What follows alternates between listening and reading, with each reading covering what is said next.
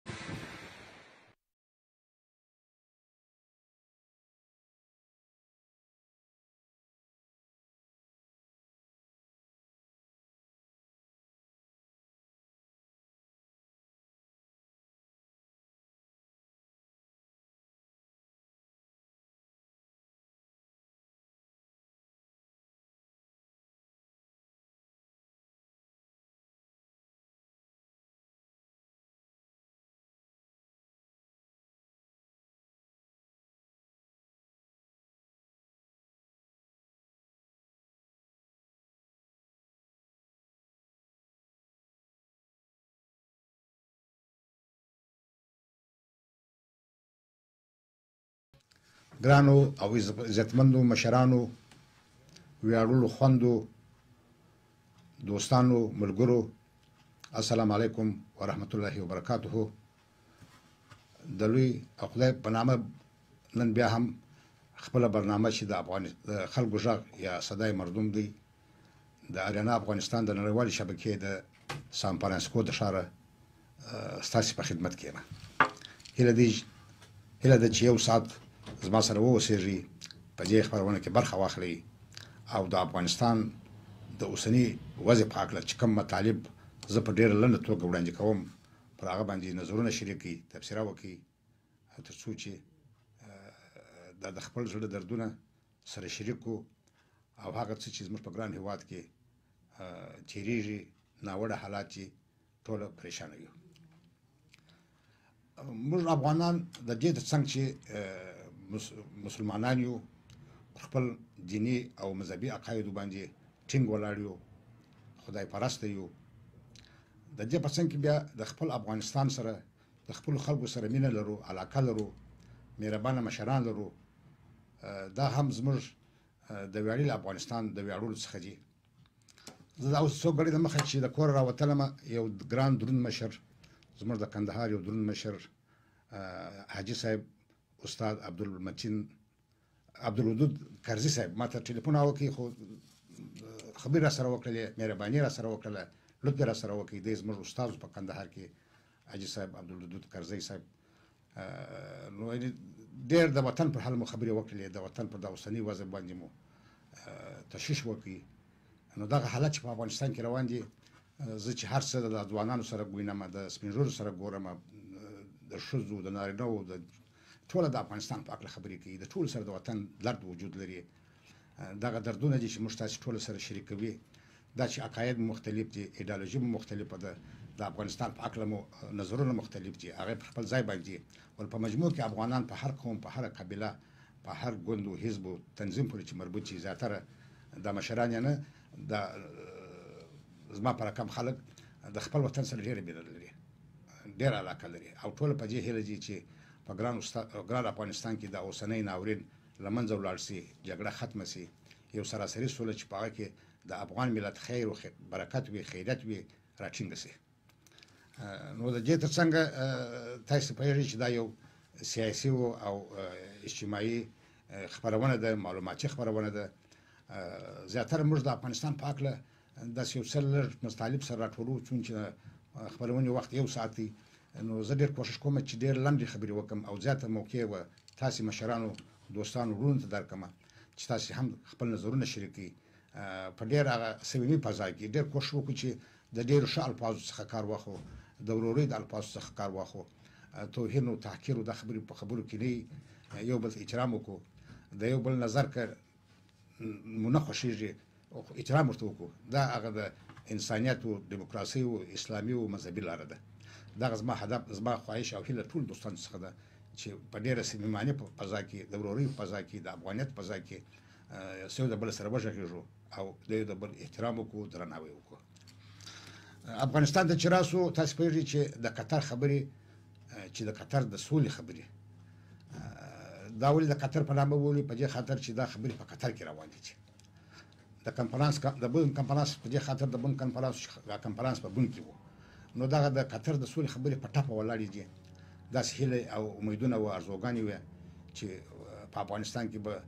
د دغه یو کال په جریان کې سوله راځي ټول خواو به د افغانستان ملي منافع ته په نظر کې ګوري ولې متاسفانه موږ ګورو چې طالبان په خپلو سیاسي او ډیپلوماټیکو سفرونه بخت بوخت دي ایران ته ولاړل روسیې ته ولاړل ممکن خل ارمنستان ته ولاړل او امکان لري په رانږدو وختو کې بیا د خپل سفرونه و ترکیه ته هم وکړي د دې لپاره چې د خپل هغه سیاسي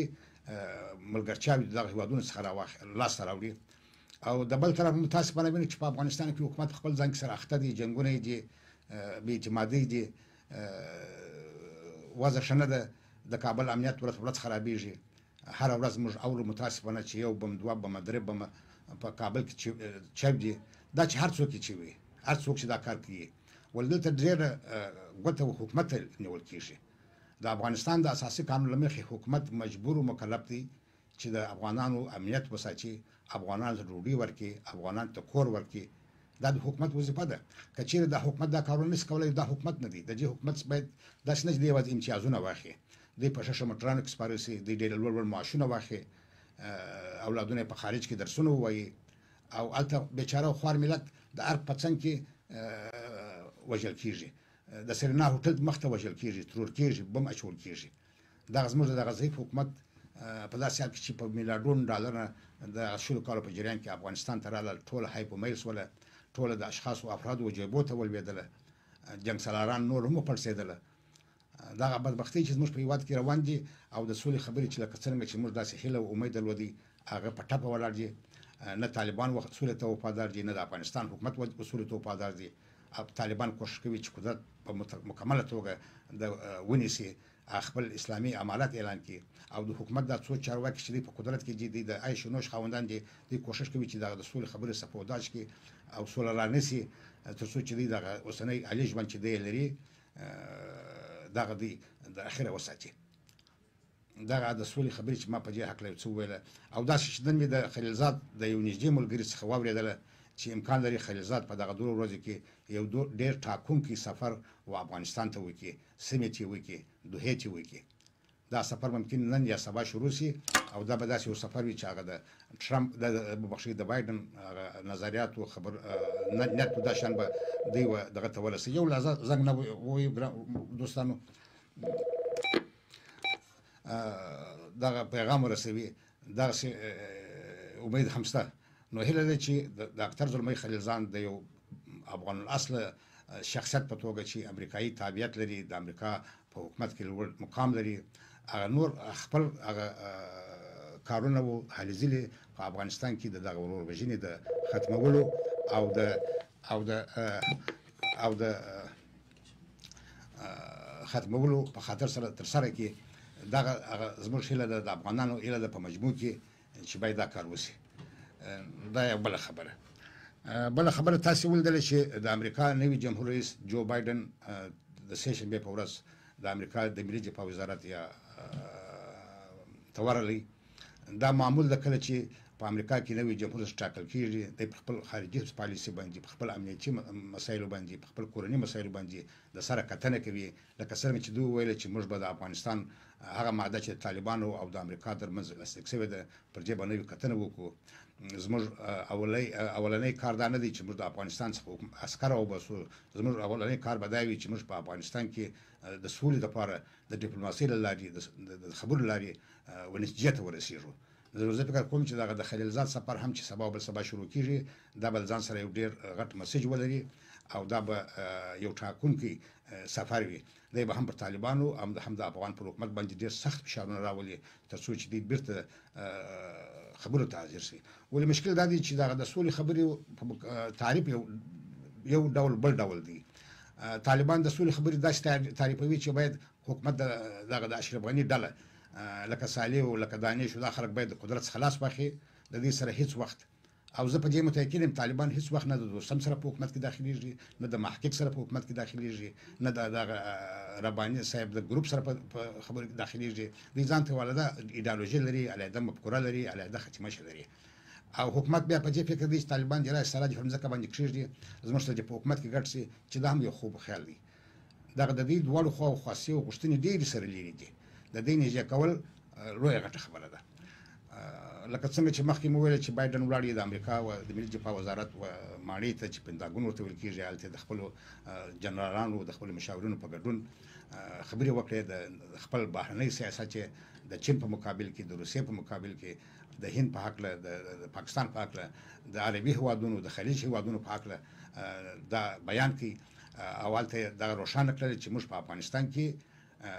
دغه قواوي 2015 قواوي در هغه وخت پورې په دې باره کې خبرې نه کوو یعنی درې میاشتې پورې تر څو چې موږ یو د سولې لاره پیدا کړو بیا که چیرې د هغه څه چې په معاهده کې راغلي دي د امریکایانو او طالبانو په منځ کې هغه ته به قدم په قدم سره مخ ته ولاړ شو خو مشکله خبره دا ده چې هغه مخکې چې مو ویل حکومت په مجموع کې اوربند غواړي چې تاسو اوربند کې جنگ مکوي او طالبانو ته وایي چې زه هغه وخت اوربند کوم چې ته د ارګ راووځې داسې خو نه کېږي چې زه اوربند وکم او ته په ارګ کې ناست یې زه په غره کې ناست یم ته په سپېدار کې ناست یې زه وچه ډوډۍ خورم او ته هلته پلو چلو اتلس رقمه غوښه خورې نو باید یو ډیل سره وسی یو یو یو تفاهم سره ورسیږي چې دواړو خواو سره هم یو څه طالبان تیر سي او یو څه هم دغه د حکومت چارواکي تیر سي دغه د سولې لار هواره سي موږ هدف په افغانستان کې یو دغه د ورور وژنې ختمول دي دغه د اوسني وضع عیارول دي د خلکو لپاره د یو ښه ژوند برابرول دي کله چې امریکا پر افغانستان حمله وکړه افغانستان اشغال کوي ما داسې فکر کاوه چې ممکن افغانستان به په شلو یا پنځلسو کالو کې یا د جاپان رقم په هېواد وي یا به د جرمني په رقم هېواد وي. متاسفانه هغه د هغه شلو کالو د مخ څخه هم افغانستان اوس په ډېرو بدو شرایطو کې واقع دی. تاسې دغه څو بلډنګونو تعمیرات ته نه مه ګورئ. هلته فحشا په یې اندازه ډېره ده. هلته چور و، چپاول و، رشوت و، اختلاس و، بې نظمي و، بې قانوني و. د رئیس جمهور امر څوک نه مني. د د معاون د رئیس جمهور امر څوک نه مني هر هر هر وزیر ځان ته خپل خپل نفر لري هر تنظیم ځان ته خپل نفر لري افغانستان حکومت په څو ډلو وشل شوی دی دا ویل شوی دی دغه د کابل امنیت تاسو وګورئ وخت چې د حکومت دغه نتوانو طاقت ونه لري چې دی د خپل د شهر امنیت وساتي نو دی بیا څنګه په په هلمند کې د طالبانو سره جنگ کوي څنګه به دی په بدخشان کې د طالبانو سره جنگ کوي لوی علت دا دی چې دوی منځ کې تفاهم نشته همدردي نشته هم همکاري نشته هر ګروپ ځان ته خپل والي لري هر ګروپ ځان ته خپل ښاروال لري خپل کومندان لري دغه لوی بدبختي د افغانستان د خلکو د پاره دغه اوسنۍ حکومت دی دغه د 2001 کال څخه چې په افغانستان کې د کرزي صاحب حکومت راغلی دی دا اوس چې راغلی دی دغه دواړه ناکام حکومتونه چې هغه څومره چې موږ که توقع او هیله درلودله هغه ترسره نه شول دغه د بودجې موضوع د حکومت او د مقننه قوت شورا ده ما همیشه ویلي دي چې دولت په مجموع کې درې ارګان لري چې یو حکومت دی یو پارلمان دی چې دوه مجلسونه لري یو ولسي جرګه ده او بل مشرانو جرګه ده بل قضا ده فعلا دا خو تاسو پوهیږئ چې کله چې د حکومت د خوا څخه یو شی قانون یا یو شی جوړیږي هغه ولسي جرګې ته پیشنهاد کیږي بیا هغه رای ورکوي دغه د 2014 کال بودجه ده بودجه معمولا په دوو برخو یو یې انکشافي ده یو یې عادي بودجه ده په عادي بودجه کې دغه د افغانستان د ټولو وزارتونو د ټولو ولایتونو هغه ضرورتونه سنجول کیږي هغه پیسې دوی سره سنجي چې څونه موږ ضرورت لرو څونه باید مصرف کړو بیا دوی دا په مجموع کې ولسي جرګې ته لیږي هلته پر دې باندې بحث کیږي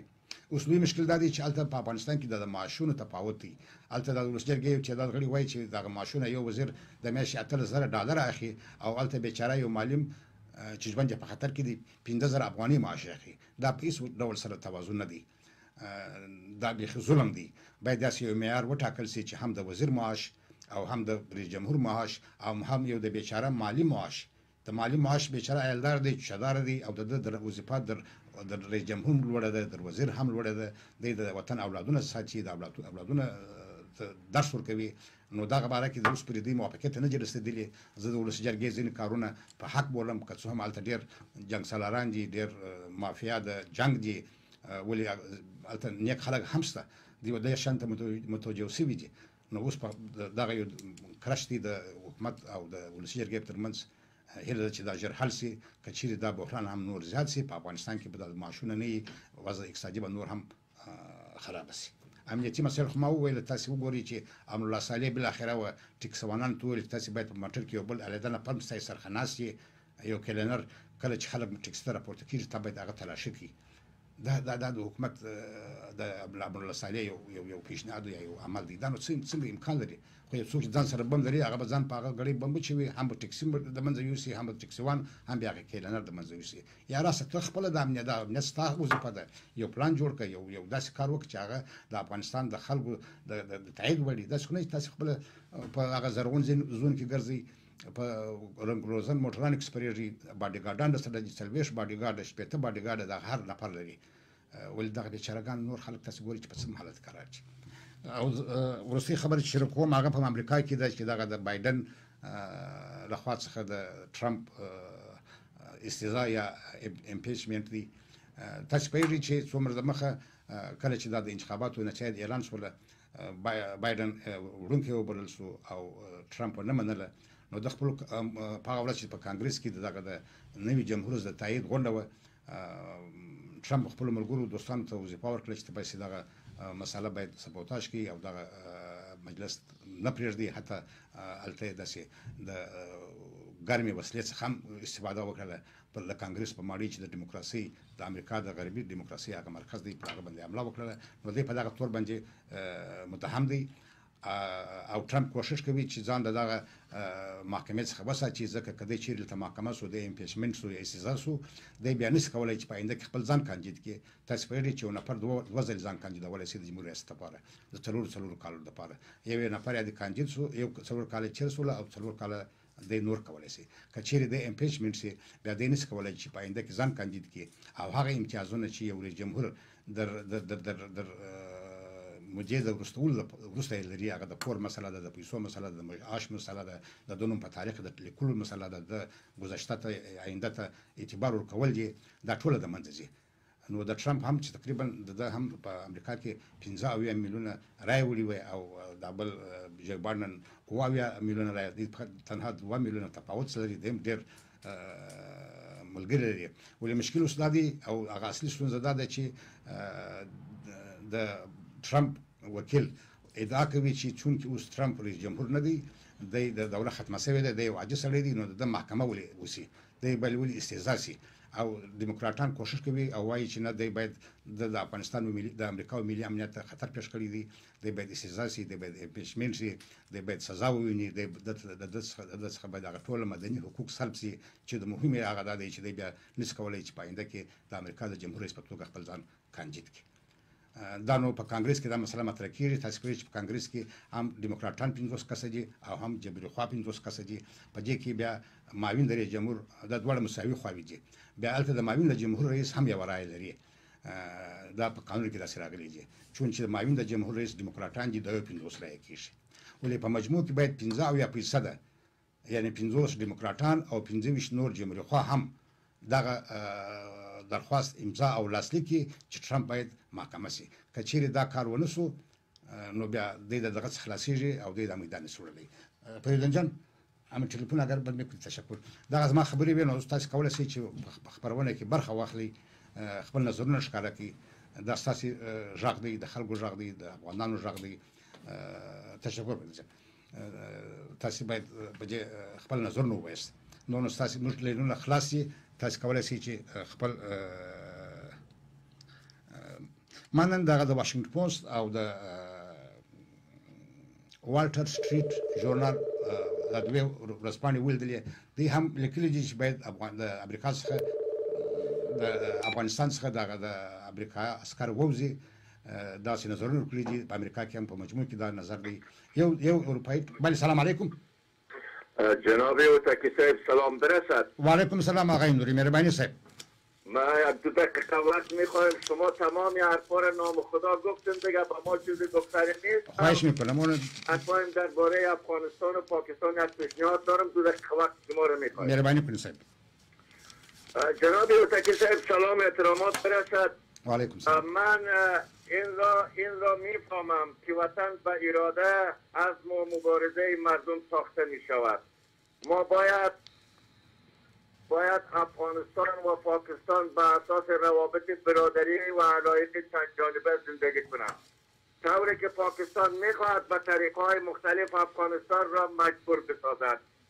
و هم در افغانستان مداخله و دسترازی می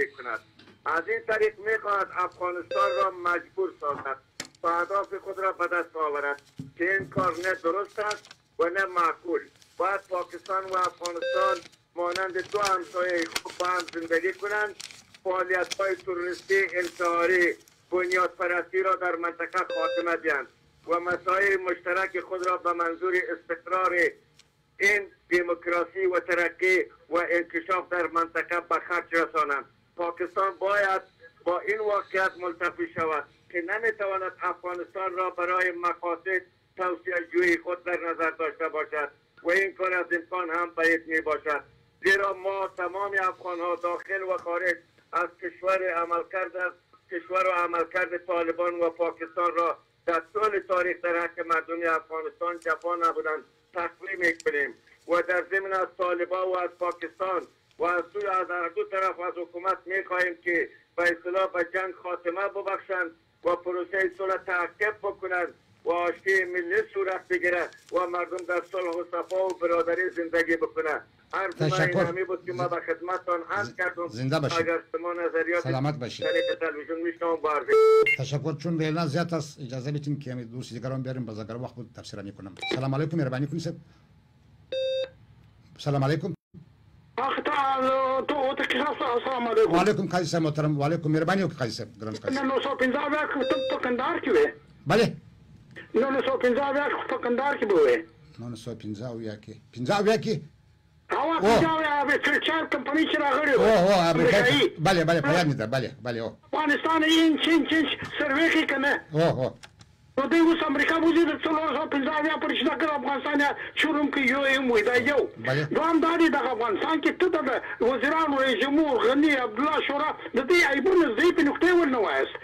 چه دا نو ضلع انداخت باشه دا نو دا حکومت یی چه دا سیاف بی ناموسه یا کرزی بی ناموس ورته وایم ولی ونه وایم ته کندهار عینو مین ته وګوره ګروپ ګروپ ګروپ کندهاریان نیاست دی وړاکی کوی ټیکی کوی پیر مغان کرزی دغه د معارف پیسی کرزی بی ناموسه تا یو نه وړی وردګ د دې ضعیفې نقطې ووایه چې دغې ضعیفې نقطې دې نه شي موفق کېدای، طالب الالساده ګان دې دې حرامزاده ګان دې ادې د اول د برق محصول نور کړي دې ستا را وځي ګرده جنوب کې په کومو اوبو د غلا په اوبو د غلا په برق اسماعیل شخصي دې وګوره عبدالله دې وګوره رسزی دې وګوره غني دې د دې ضعیفې نقطې ووایه شورا کې وګوره په ګرده شورا کې یواځې یو دغه رمضان لرې په ګرده افغانستان کې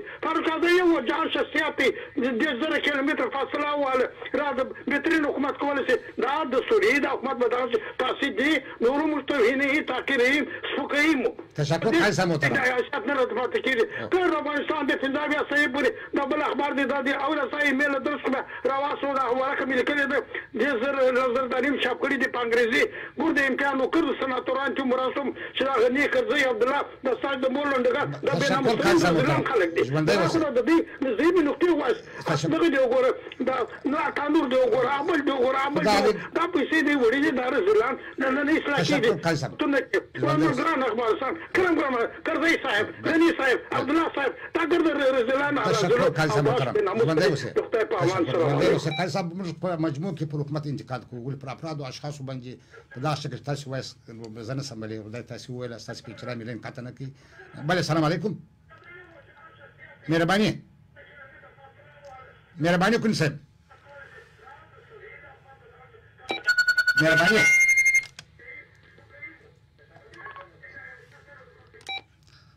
بله بله قاضي صاحب محترم تاسو خو دی هغه څه چې تاسو ویل منتها هغه الفاظ چې تاسو یادولای سي یادوي هغه زه نه سم یادولای په مجموع کې ما انتقاد وکړي په مجموع کې پر حکومت باندې چې دغه اشخاص او افراد څخه جوړ شوی دی واقعا دی د افغانستان په حق ظلم کوي ظلم یې کړی دی خدمت یې نه دی کړی ظلم کوي دا اوس هم ظلم روان دی دا ټول خلک نارامه دي خلک ټول خلک خپه دي ټول خلک پر اوسنی حکومت باندې انتقاد لري د یو نوي حکومت د یو نوي ژوند په حق غوښتونکي دي دا مسایل چې تاسو اشاره ورته وکړه ما مخکې ویل چې دغه د افغانستان څخه د امریکایي قواو د ایستلو په هکله مختلف نظرونه دي ګرچې د امریکا هغه دوې معتبرې ورځپاڼې چې یوې وال سټریټ ژورنال دی چې دا تقریبا داسې راستي افراطي اخبار دی دوی هم لیکلي و چې باید د افغانستان څخه د عسکرو په ایستلو باندې یو تجدید نظر وسي تر څو چې په افغانستان کې دغسې امنیتي مسایل کم نه سي، په دغه هکله دې د افغانستان حکومت له امریکا حکومت تصمیم نه نیسي چې دا قواوې وباسي او دا بایډن هم دا خبره تایید کړې ده. بله سلام علیکم.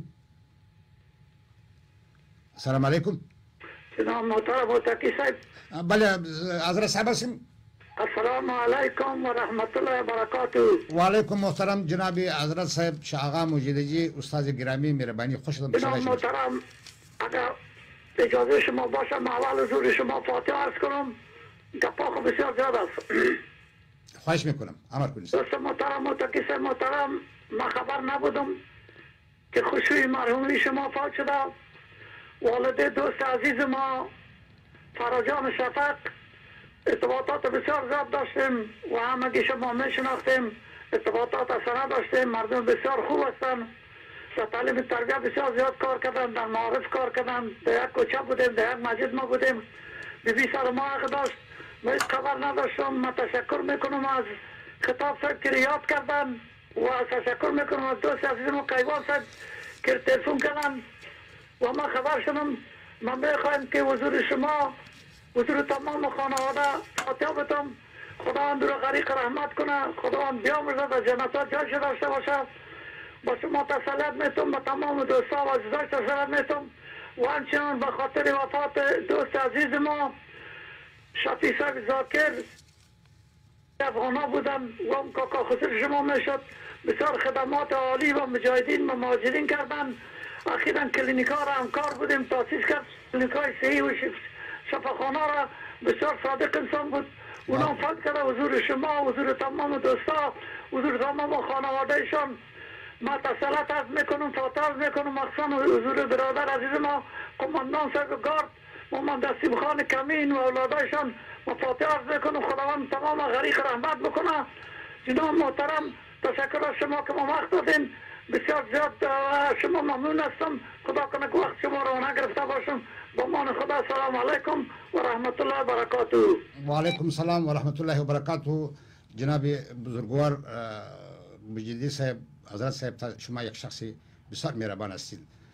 تشکر از اینکه امی تسلیت گفتین بله خوشی ما خدا غریق رحمت کنه وفات شده بود و زیاتر دوستا پسندتر خبر شدن گرچه ما اعلان تلویزیونی داده بودم ولی بعد از اینکه امی تلویزیون ما باید از برادر عزیز گرامی دوست و آشنای ما محترم عمر خطاب رئیس تلویزیون پیام افغان تشکر و امتنان کنم کینه د برنامه یې وزنې خود سپینې خبرې یا سخن اوریان امین تسلیت به ما به فامیل ما به خانم ما گفته مرا خوش خوشنود ساخته خطاب صاحب ډیره مننه کور دی ودان ستاسو د غم شریکۍ څخه ستاسو د همدردۍ څخه تاسو زموږ پاکله دا پاتې را کړې ده خپل خبرونه کې کور مو ودان بله آقای شفیع زاکر هم یکی از شخصیت های وطن دوست افغانستان بود دوستای خیشه ما بودن بله اونا هم در این مسائل چی فعال بوده شما در مسائل کلینیک که همراه خطاب صاحب کار میکرد و دوست رفیق و دوست نزدیک شما بود آقای مجیدجی ما خبر دارم اونا هم خداوند غیری که رحمت کنه و دوستان بسیار زنگ زدن از دکتر فهیم کوچی ممنون از دکتر صاحب عبدالله کاظم ممنون از شما ممنون ناکا صاحب بودن که عملا نتانستن بودی با ما تلفن کردن آقای اسد جان کرزی از از تولای جان ترزی از افغانستان ولی نمای ما ولا یادم رفته خود دوستا بسیار سی جان خوگانی دیش و زنگ دادن دوستا بسیار زنگ دادن امیر ما هم چند تا بزرگ نمیشه گرفتم و ما می مسئله در فیسبوک انداختم تقریبا 1500 کامنت در مورد امخوشی ما که یک زنی واقعا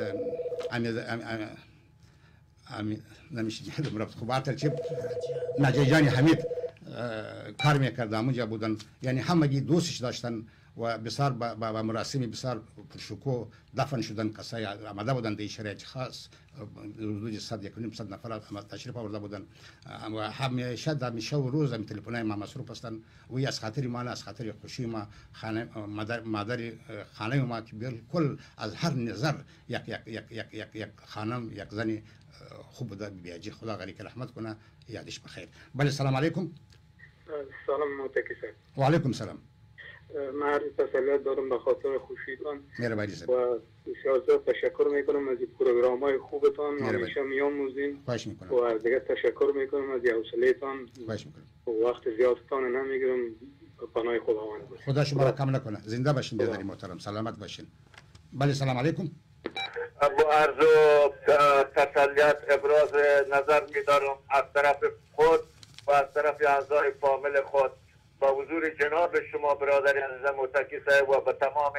فامیل و خانواده هایتان صبر جمیل آرزومند هستم و از خداوند جنت فردوس برشان آرزومند هستم خداوند شما را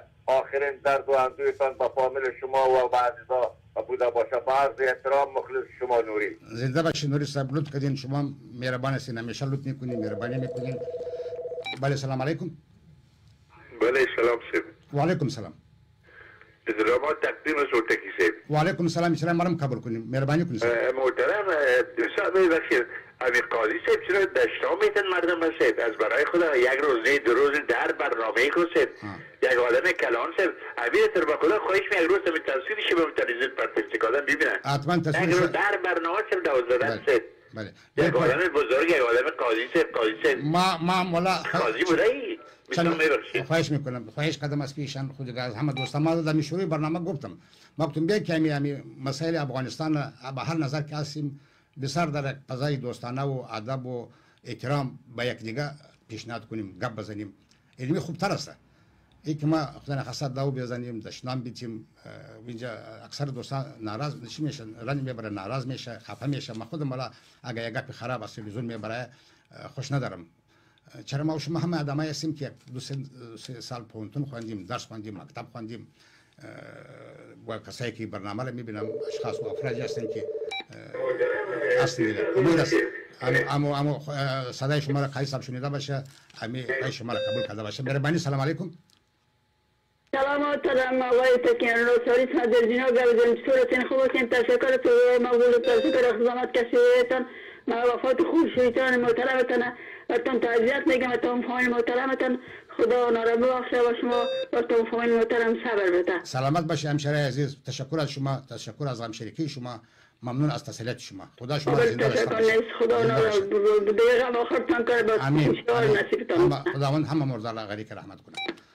بله سلام علیکم. بله محترم هوتکی صاحب سلام و احترامات بر شما و تمام بینندان می رسانم اولی که وفات خوشی تان تسلیت می گم بر شما و فامیل محترم تان و خانم محترم تان تسلیت می گم و یک چیز می خواهیم دو دقیقه چند دقیقه صحبت کنم در موضوع افغانستان یگانه حرف مثبتی که غنی در تمام دوره شش سال زد ای بود که غنی گفت در هیچ کشوری نمیتونه که طریق افغانستان بالای مملکت دیگه حمله کنه که منافع ما برای ما مهم است و ما نمیخواهیم که ما میخوایم که روابط و تجارت خود با همه همسایه و با همه جهان داشته باشیم که موضوع باعث نگرانی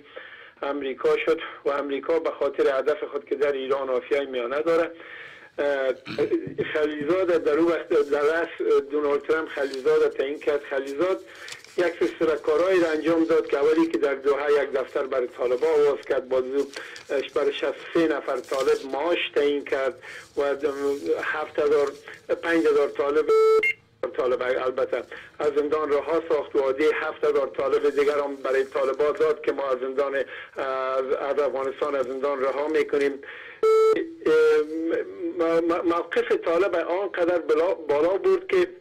تاله فکر کرد که ما موفق شدیم و میتونیم که در افغانستان قدرت در دست بریم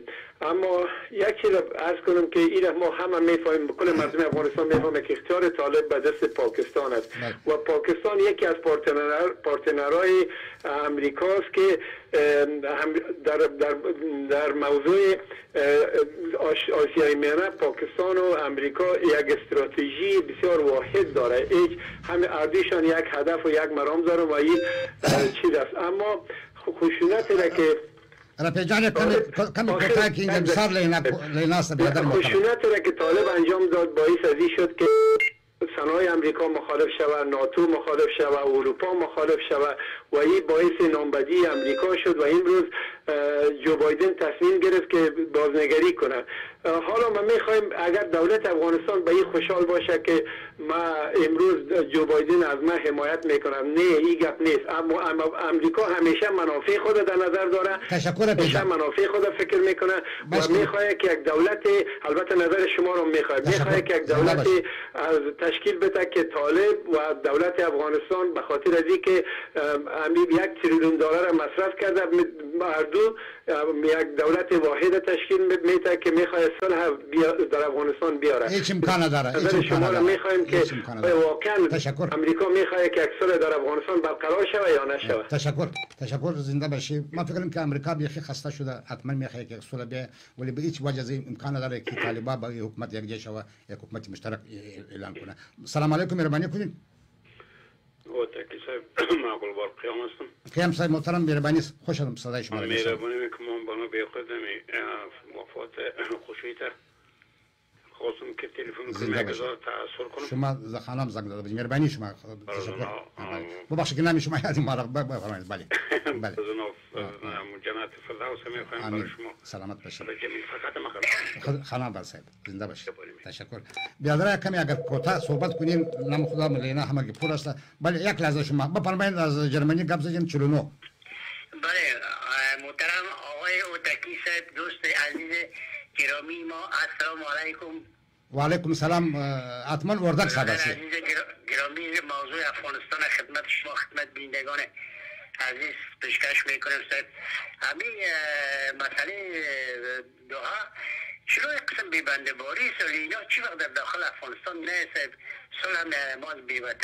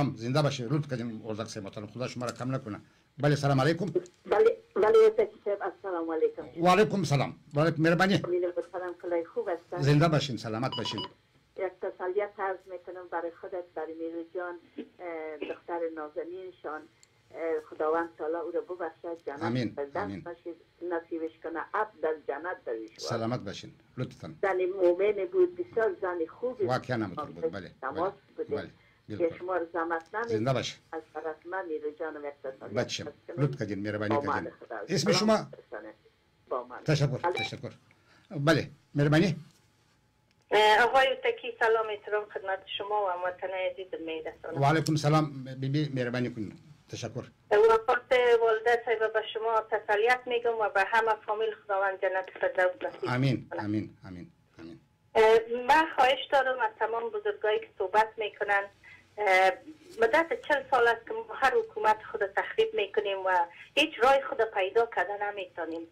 برای همه ثابت است که حال دانشمندای بزرگ افغانستان از داخل و خارج کشور که پای پیش کردن و اینا می مردم های طرف هستن که در هیچ هیچ حزب و گروپ نبودن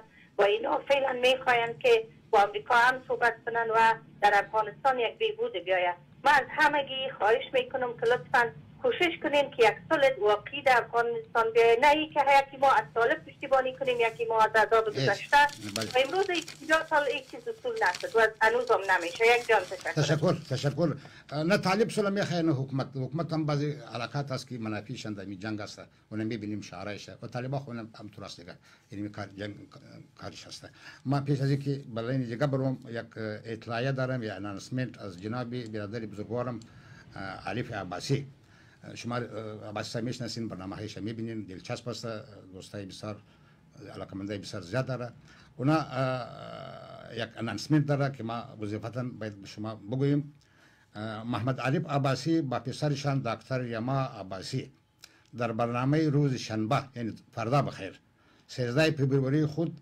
که از طریق تلویزیون آریانا افغانستان به ساعت دو و سی دقیقه قبل از ظهر پخش میگردد برای بنیاد خیریه غمخواری اولاد یتیم افغانستان اعانه جمعآوری مینماید توجه و معاونت شما را در این امر در این امر خیریه ارزو می نماید امید است که در این پنډریزنګ امرای جناب محترم محمد عارف عباسی و پرزند ارشدشان یا دکتر یما عباسی کمک و اشتراک کنید ممنون شما ممنون شما ما امی اعلامیه را خدمت شما نشر کردم و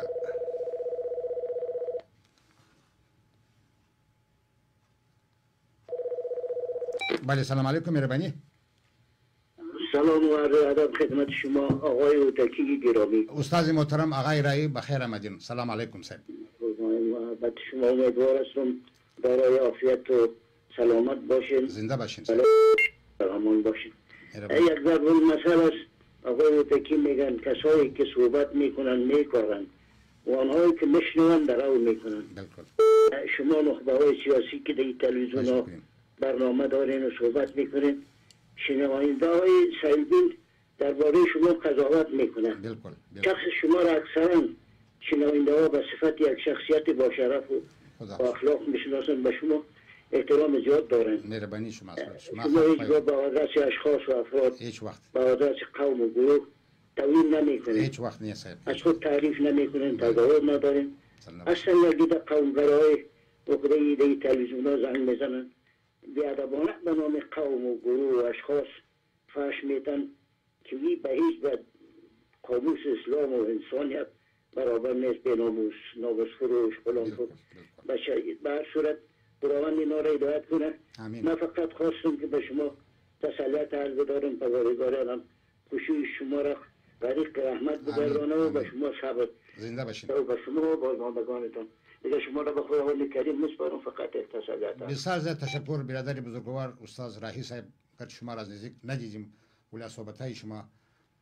از شیوه گفتار شما معلوم میشه که شما یک شخص با ادب و یک شاعر یک نویسنده یک مبصر سیاسی خوب هستین و مهربان هستین واقعا ما همه برادر هستیم به هر قوم و به هر قبیله که باشه ما هر کس که به هر قوم توهین و تحقیر کنه او دشمن ماست و ما دشمن از اوستیم تا که همه مسائل قومی و زبانی و سمچی راز به نبریم و همه متحد نشویم و به نام یک انسان به نام یک افغان در برای ترقی و پیشنچ افغانستان کار نکنیم دیگر رای نداریم مهربانی سلام علیکم سلام علیکم جناب آتکی گرامی زرابی هستم از آلمان زرابی صاحب مهربانی او زرابی صاحب سلام علیکم زرابی صاحب شخصیت بسیار علی برنامه ساز بسیار موفق امی جان زرابی بله بله زحمتای شما صاحب قابل ما یک لحظه یک دقیقه در مورد شما امیر امیر وظیفه خود میدانم که شما بسیار زحمت میکشین بسیار پروگرام های خوب جور میکنین و اشخاص و افراد با افکار مختلف با نظریات مختلف با ایدئولوژی مختلف در روی تلویزیون میارین نظرات چه از رانه میخین و اشخاص بسار نخبه و بسار فهمیده ما به شما تبریک میگیم خدا شما را زنده داشته باشه شخص بسار دانا و فهمیده و وطن دوست هستین مهربانی کنین صاحب. تشکر و به شما مجدد سلام میکنم و بیننده ها و هموطنان عزیز ما در هر جای که حضور دارند سلام و احترام دارم من میخواستم هم برای شما و خانواده محترمتان تسلیت عرض کنم زمنان بسیار کوتاه وقت دیگه اجزا نگیرین نگیریم به شما برسانیم که فشرده آخرین تحلیل و مناسبترین و کم ترین طرح بر بهبود افغانستان یک رفرم است که از تقابل جا از تقابل به تعامل بره دولت کابل یعنی با مردم با سیاسیون با نخبگان با شخصیت های دلسوز داخل و خارج ارتباط و تماس برقرار کنه این من فکر میکنم کم ازینه ترین و اقلانی ترین کار در شرایط بحرانی فعلی باشه بله امین اکتر خواستم به عرض شما و هموطنای عزیز ما بسار یک پیشنیاد یک نظری بسار خوب و انشاءالله امی خوب راست که اگر امی ایوازی تقابل به هم فکری و همدوسی پیش رو بیاره فکر می که امی رای خوب است و انشاءالله به یک سوله می رسیم بسار نظری خوب است آقای زرابی. تشکر از شما. تشکر از شما که دی برنامه اشتراک کردین محترم حمید جان زرابی خو پیشتر عرض کردم که یکی از ژورنالیستا یکی از شخصیت هایی که بسیار زیاد برای افغانستان میتپه پروگرام های مختلف مختلف جور میکنه با افکار مختلف اشخاص میاره من یه د فیسبوک هم باید دوستا دارم خو نه پم که اگر نامی بعضی را بگیرم بعضی را نگیرم باز کنه خسته خفه نشوه در مجموعه از همه دوستا تشکر میکنم که فیسبوک شریک میسازد نظرات میته اینمی هم یک کمک است اینمی صدا است که مردم باید برسته صدای مردم است صدای خلق و دی دغه یو ساعت پروګرام چې زه په هفته کې یو ځل لرم خوشاله یم چې دغه ټلویزیون د مسکینر صاحب څخه مننه کوم چې دغه وخت ما ته په اختیار کې راکړی دی یو ساعت وخت لرم ستاسو سره زه د زړه خواله کوم ستاسو आवाज اورم تاسو د خلکو د نور دوستانو आवाजونه اوري د افغانستان د پاره یوازې لار د خبرو لار ده د سولې لار ده د جنگ لار نه ده دا هم امریکا په دې پوهیږي هم باید طالبان په دې پوه شي هم هم هم باید موږ په دې پوه شو چې یوازنۍ لاره چې موږ کولی شو چې په وطن کې سوله رالو د خبرو او تفاهم لار ده نه د تقابل لار ده نه دا چې د مقابل سره ودرېږو باید یو بل سره قبول کو ولې متاسفانه دا دوه خواوې که طالبان دي او حکومت دی ډېر سره لیري دي د دې منځ کې ډېره فاصله ده ډېره بې اندازه زیاته فاصله ده دا دوی هیڅ کله به یو بل سره قبول نه کړي هغه جنګونه چې سوي دي هغه دې منځ کې چې مړي سوي دي یو د بل سره وژلي دي دښمنۍ چې دي دغه ډیره مشکله ده چې په افغانستان کې د سولې لپاره یو ښه زمینه مساعده شي خو بیا هم دا که چیرې زموږ سیاسیون زموږ حکومت چې وظیفه د افغانستان د حکومت دا ده چې دی باید د سولې لپاره کار وکړي داسې لارې وسنجوي چې هغه واقعا افغانان قانع سي طالبان قانع سي مخالفین قانع سي ترڅو چې د سولې لار پیدا سي په افغانستان کې بد حالت دی د لوږې درڅنګه د تږې درڅنګه دغه د امنیت مسله ډیره مهمه ده زموږ خلک نن په افغانستان کې نه ډوډۍ غواړي نه اوبه غواړي نه نه نه کور غواړي حتی کالي نه غواړي وایي موږ ته فقط امنیت راکړي موږ ژوندي پاتې سو تر څو چې ژوندي نه نو ډوډۍ څه کوو اوبه څه کوو اولین خواست او اولین ضرورت زموږ لپاره دغه د ژوند مسله ده دغه د امنیت مسله ده ولې متاسفانه موږ د درو لکو اردو د درو لکو پولیسو او د درو لکو امنیتي کسانو په وجود سره ونه کړای شوای چې دغه سوله افغانستان ته راوړو حتی د کابل دغه د کوچني کابل امنیت وساتو زما په یادیږی د پدهی دیموکراسی او د شهید داود خان د حکومت په وخت کی د ټول افغانستان د ټول کابل امنیت پنځوس کسه وی څلویښت کسه پولیسانو ساتی اضافه نه وه بله سلام علیکم مهربانی وکړی بله سلام علیکم آقای هوتکیس بر شما و بر تمام دوستا و عزیزایی که صدای ما را میشنوه کیوان صاحب محترم بخیر آمدی مهربانی کنی صاحب سلام تشکر باز هم تکرارا عرض تسلیت بر شما فامیل عزیز و همه دوستا عرض میکنم تشکر زندگی سر شما ها بوده باشد از جناب شاقا سید که اظهار کردن و شنیده بودن و بدون وقفه حتما داخل شدن با شما تماس گرفتن تسلیت گفتن و از بزرگی و علوم به اصطلاح سله رحمی از اونا هست از که پاس بکنم از اجل مستا هم در زمان اما باز هم عرض بکنم که واقعیتش که ایران همه در پیش داره ولی یک اظهار تسلیت مرده را زنده نمی کنه ولی همونطوری که ما به خانم شما خواهم صحبت کرد و گفت که یعنی این یک دلداری هست بر ما و یک تسلیت میکنه باشه و یه حرف بسیار خوب هم هست با استفاده از فرصت از آقای زلالی هم اظهار سپاس میکنیم که برنامه بسیار عالی و روشنگرانه روشنگرانه داره و من میشنوم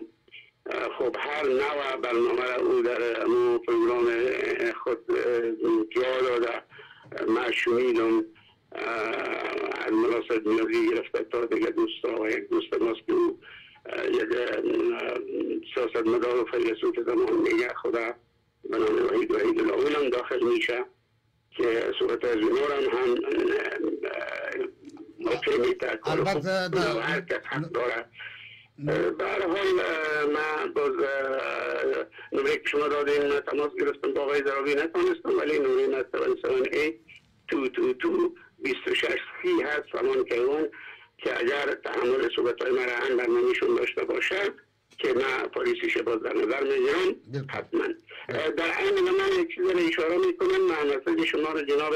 متکی صاحب که من روز فکر میکنم پنی روز بود در برنامه آقای خطاب که او ازش اظهار سپاس میکنم که شما از اون دلدردی داد و تسلیت داد و باز من یک صحبتی داشتم اون صحبت من یک کمی تون بود من صحبت شما که حال در دریافتم که اخلاق شماست شرافت شماست نرمش شما هست که شما طرفدار یک رقم حرفای که بگوییم که خب وقتی که از یک تلویزیون یا یک کار مثل شما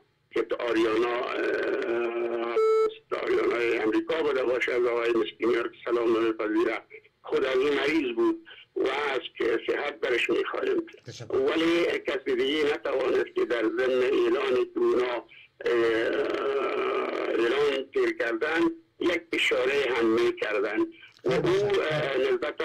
سخت بود مورد پسند شما نبود او شرافت شما ولی یعنی را همون صحبت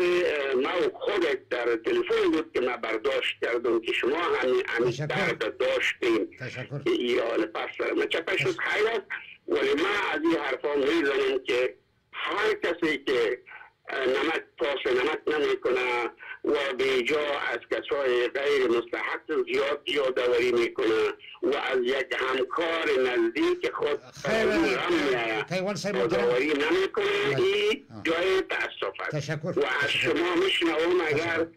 هر چی داریم بر غیر از او ما افتخار میکنم که واقعا دارم این ولو به هر کس نه ناسپالی نمیکنم زنده باشی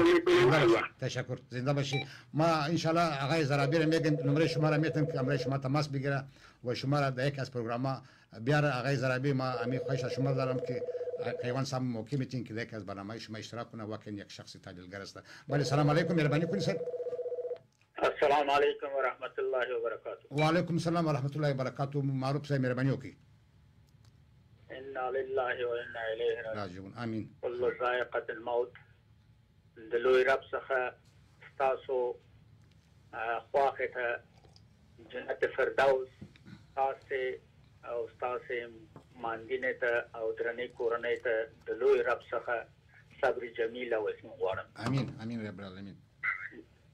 دا کاروان ده موږ ټول پکې شریک یو ټول پکې ځو په دې غم کې زه تاسو سره ځان شریک بولم. مننه کور ودان سلامت وسې معروف صاحب ژوندی وسې. ستاسو په اجازه فقط لنډ وایم چې که د کابل اداره او یا د طالبانو اسلامي امارت په دې تمه وي چې میم زرما ټول زما. دا نو سیاسي جوړجاړی نه، بلکې د جګړې ادامه ده. زموږ مسؤلیت، فریضه، ایماني او وجداني وظیفه د ټولو افغانانو په ټوله نړۍ کې، څه په داخل څه په خارج کې دا ده چې د یو منځګړي جرګګۍ په صفت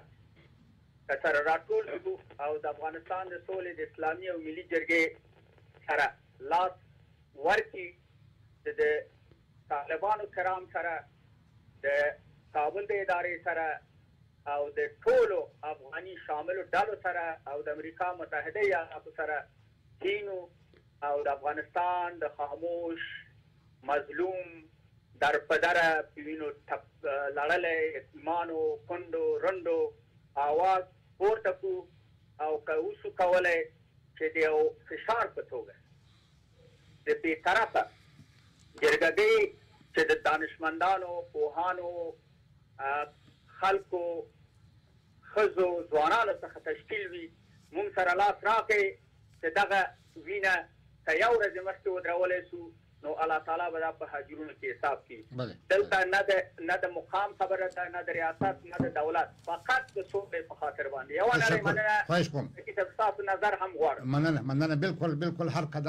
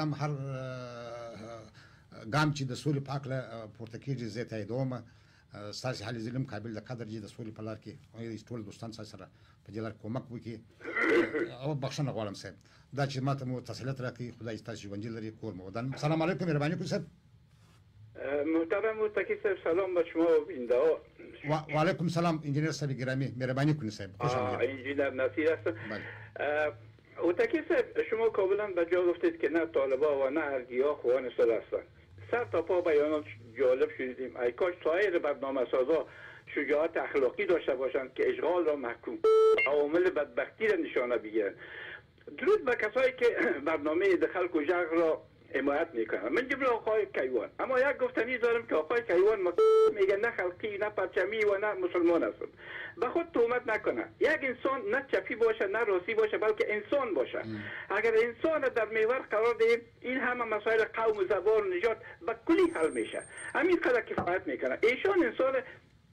فهمیده هستند اما همین قدر میدانه که یک آدم میهن پرست خدمتگار به مردم اما بی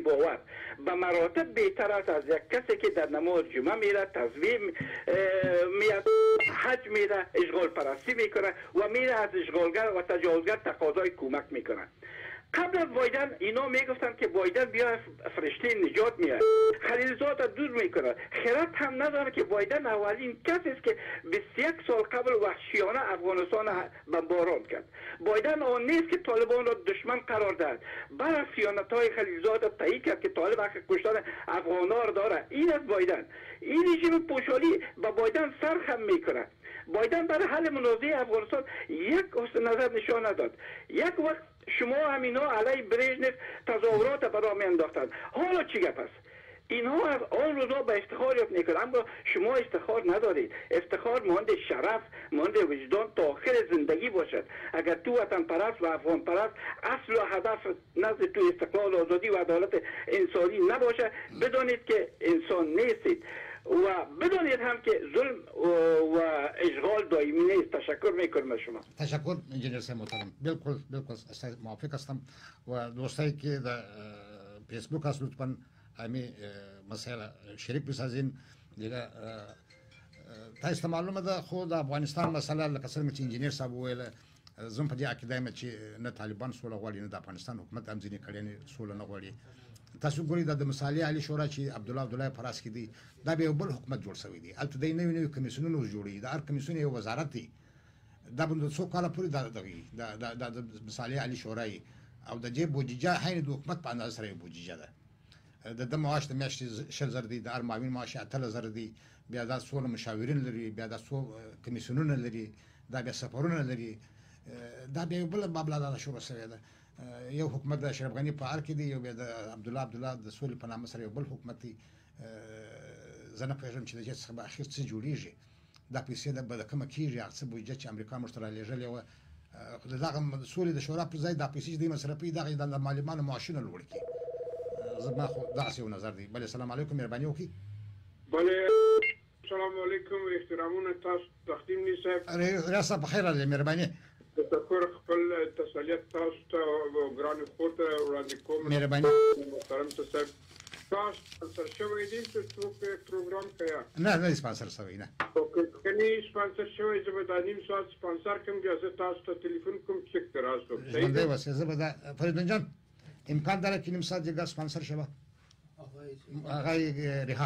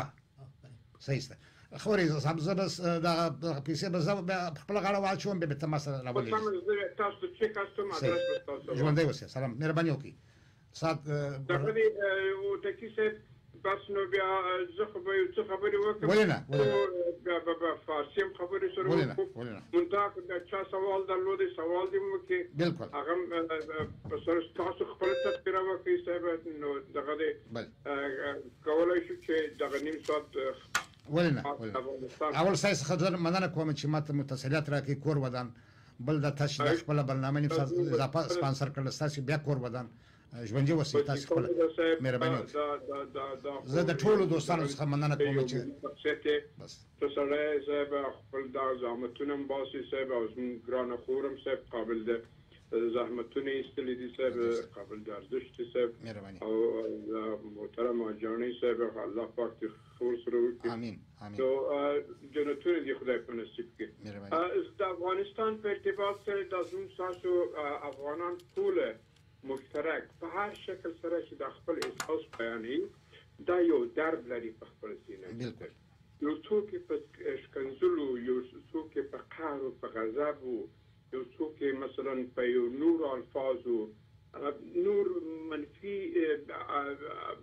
افکار چې په ذهن کې ورګرځي او سایکولوژیکل پرابلمونه هم ډېر شوي دي په جامعه کې دا ټول صاحب یو تبارز ښیي او د دې وایي څه چې په دې کې دي ګپګیر کې راوځي صاحب نو دا نو صاحب په خپله په هغه شخص پورې اړه لري چې دی څه رقم صاحب دا کلمات هلته دی دغه چرخ ورکوي په خپله سینه او په خپل مغز کې او بیا راباسي د خپلې ژبې نه. نو دا ژبه چې ده صاحب دا وایي وایي یو کتاب دی وایي په نقش زبان در سرنوشت انسان نو دغه ډېر مهم دی صاحب چې دا خپل کلمات او دا خپل احساسات چې دی دا په یو ډېره ښه توګه په یو ډېره نرمه توګه په یو ډېر زیات منطقي شیوه سره صاحب دا خپل بیان وکړي ده.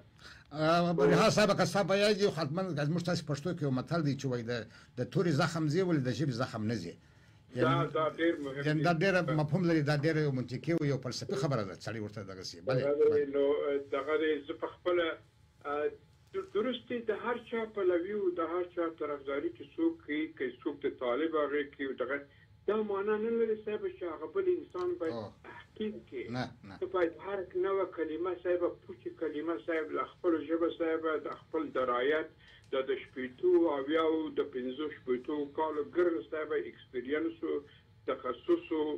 تجربې صاحب ګرد سره راټول کې صاحب په دغسې یو کلمه کې خلاصه کې صاحب چې ستا ګرد شخصیت لکه یو یو کریستل ګلاس صاحب ته ماته دا ولې باید ته داسې وکړې چې خپل ځان ته صدمه رسوې؟ بلکل. مثلا نا بله ورځ ماته یو څوک وایي صاحب زه ورته وایم دا دا خو ولا نه طالبانو دا دا مملکت اباد کړي او نه دا نورو اباد کړي صاحب د یو بل سره کشمکش کوي ملت په وینو کې غرق دی صاحب تکه تکه دی دا څنګه کیږي دا خو او که غواړي چې دوی تحلیل وکړي دا تحلیل خو نو بقا نه لري صاحب ولا دا خو دې مونږ ستاسو د لکۍ نه چه شی لکۍ نه خپله زه پخپله یو سید سړی به وخت چه ته یو چاته یو لکۍ تعین کړې صاحب هغه خو بیا سلسله پیدا کړي حضرت محمد صلی الله علیه وسلم او دی پخپله ډیر معتقد یو سړی دی د حضرت محمد صلی الله علیه وسلم باندې هم دی نه پوهیږي صاحب چه دا زما کلمه چه ما استعمال کړه دا څونه ناموزونه یو کلمه ده دا.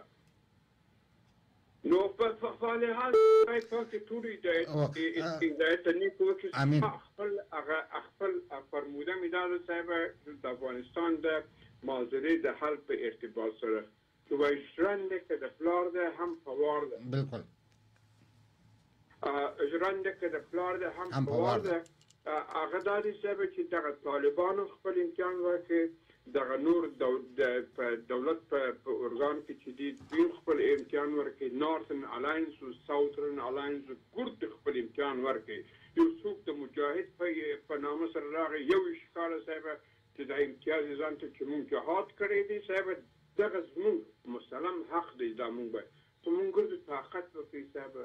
مو سترګې په لاره وو چې دوی یوه ابادي او یو یو رهایش راولي مملکت ته، هغه کار هم ونه شو. بیا نو صاحب دا دا طالبان پسې راغلو او بیا طالبانو بیا څار جوړ کړ، بیا زده دا ګرده په دا تراژیدي کې د افغانستان دا یو ذی دخل یو پروګرام شده یو کار دی، خو خیر داسې به یې وګڼو چې دا طالبان وایي ادعا کوي چې مونږ جهاد کړی، خو جهاد دې وکړي خو فی سبیل الله اوس خو نو برادر ته داسې وکسوه چې دغه تا ګرده افغانستان نه مني پنځوس فیصده دې نه مني پنځوس فیصده دې مني نو ته خو تحمیلي یو حکومت غواړې چې دا دغه اجباري دا خو بقا نه لري نو د دې د حل لاره څه شی ده هغه داسې ده صاحب چې مونږ تاسو باید رجوع وکړو داسې یو یو شوي ته چې هغه واقعا ګرد افغانستان واحد او مشترک وساتي او د د د تجزیې څخه صاحب د نجات ورکړي هغه دغه متخصصین او دانشمندان دي داسې متخصصین نه چې لکه دا اوس چې تلي داغله دا خو نو صاحب په یو دید بیا د دې سره باید ګډ نه شي. یعنی هم متخصص دی هم وطن دوست دی بله ریحه صاحب. او آفرین آفرین بهترینه خبره مو وکړه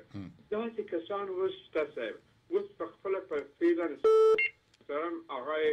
پروفیسر عزیز الرحمن اکرمی صاحب صاحب چې ډیر یو محترم یو شخصیت دی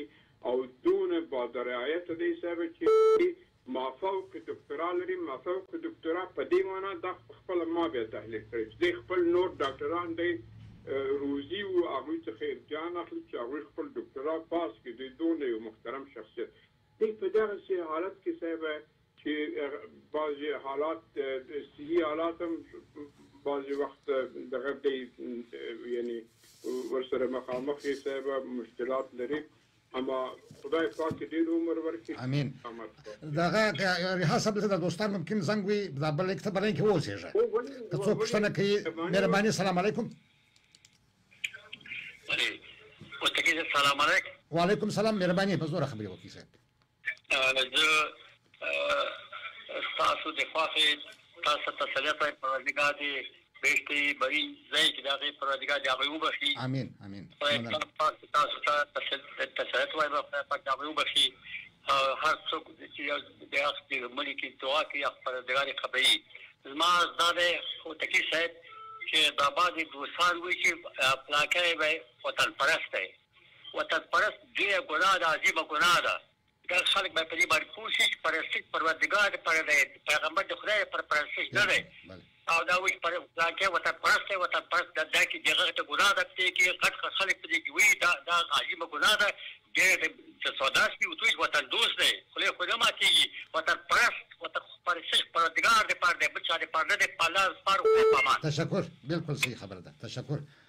بله دا محترم ته دې سلام ونه ورسیږي دا زما کاکا دی صاحب د کاناډا نه تلیفون وکړ ښه ډیره لا ډیره لا او او ډیر محترم شخصیت دی صاحب دوی صحیح خبر خبره وکړه فرض باید د د دوست د دوستی او د عشق او د محبت سره د ته یو یو جلاوالی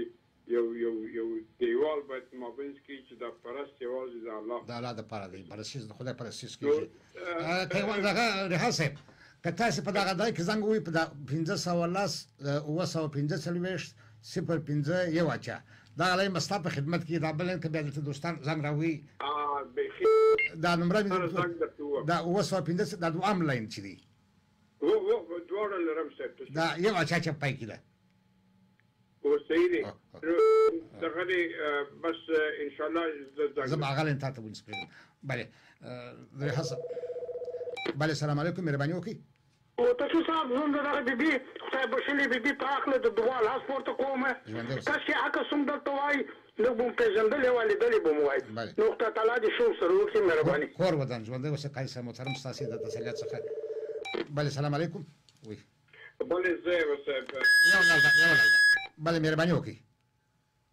بله صاحب اوس یې نو تاسو دا زما پیشنهادات تر دغه ځای پورې واورېدل چې واقعا اوس د افغانستان د معضلې د حل لاره یو خو داسې دي صاحب چې زموږ خواهشات دي زموږ ارمانونه دي د پاکستان باید داسې وکړي پاکستان ایران باید داسې وکړي امریکا باید داسې وکړي او طالب باید داسې وکړي او دولت باید داسې وکړي دا زموږ ستاسو په خوله نه ده دا زموږ ستاسو خواهش دی هیڅوک ستاسو په خوله نه کوي ګرده خپل د منفیت په خاطر سره فعالیت کوي صحیح دی که بلکل بلکل نو په لحاظه زموږ ستاسو وظیفه دا ده صاحب چې خپل په مابینځ کې باید سره راټول کړو او داسې ګروپونه باید ایجاد شي صاحب چې هغه هیڅ نه وه صاحب بد صاحب قوه نه لري د افغانستان د خلکو په ذهنیت کې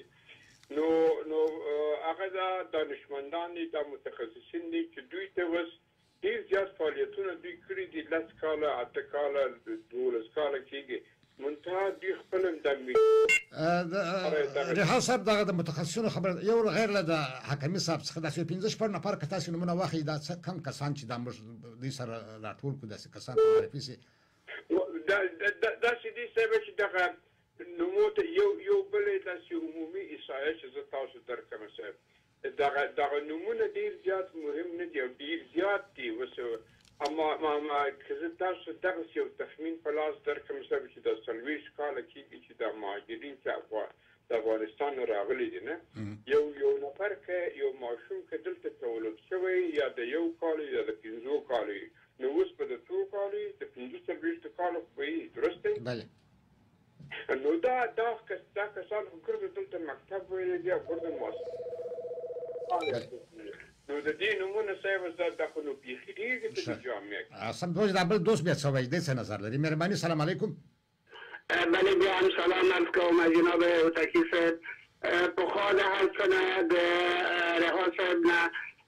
ورسره ټوخی کوم چی امی کارا را کده باش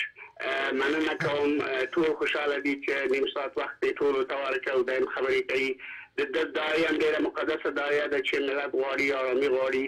وحدت غواړی خدای دی موفق لری نور تبصره هم ضرور نه دی. زه غواړم چې دغه ورور چې پخوا ویلې چې مقدس دولت مثلا وایي چې زه وطن پرسته یم یا وطن دوسته یم دې ته ګرانه وروره سلام په تا ښه نظر دی ولې دې ته غلط مشهور صحیح نادر دوه جملې دي وایي صحیح نادر چې تنیا به وي هغه وایي ډېر کم استعمالېږي ولې غلط مشهور چې یو وارې مشهور شه نو دغه وطن پرست وطن پرست اوس ټولو په خوله کې مشهور شوی دی، هر څوک دغه خبره کوي ولې په نیت کې یې دا خبره بیا نه ده، زه تاییدوم چې پرستش خدای ته او راولو بله خبره ده چې دا بې جوابه پاتې نه شي، نصیر صاحب انجینر صاحب ته سلام عرض کوم، ده سره ما ډيرې خبرې کړې دي او مونږ او ده له دايې سره ښه پيژنو چې ده د د پرشن د دايې نه دفاع کوله د کارمل صاحب نه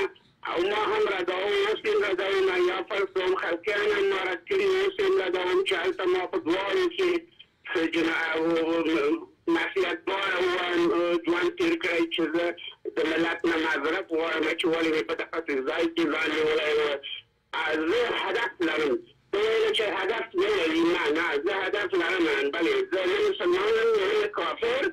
او په هر یو زمان کی که مسلمان یم نه د دوی غوندی دین فروشه مسلمان یم او یا د هغوی غوندی هورا هورا ملحده کافر نه یم دا ته وایی معتدل انسان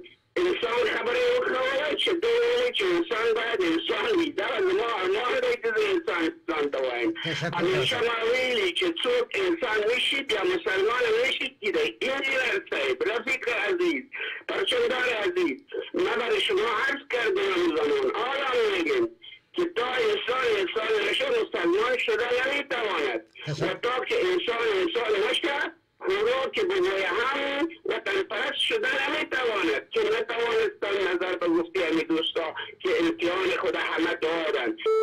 من از هر دو جانب نبریدم ولی به هست یک انسان با آرمان مقدس تر و بالاتر از این خلق و پرچم ندارم.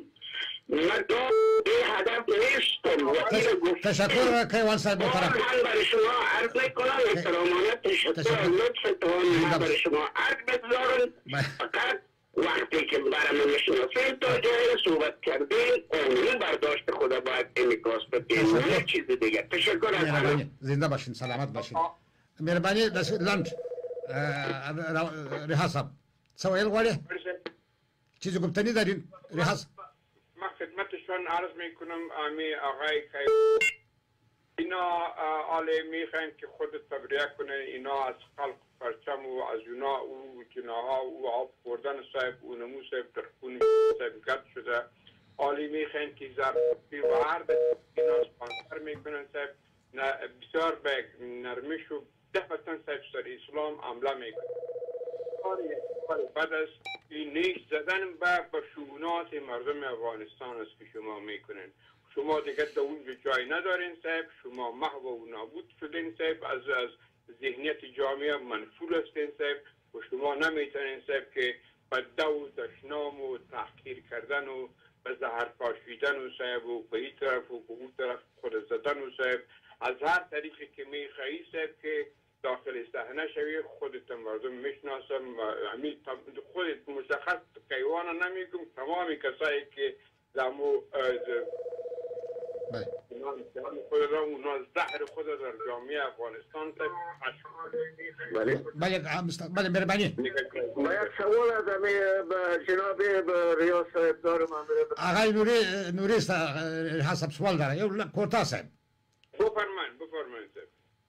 مهرباني نوري صاحب کمېټې مهرباني جناب ریا صاحب سلام برکات هموطنی عزیز روی ته میبوسم سوال ما ای است که جناب اوتاکی صاحب هم پیشتر گفتن شورای عالی مطالعه ملی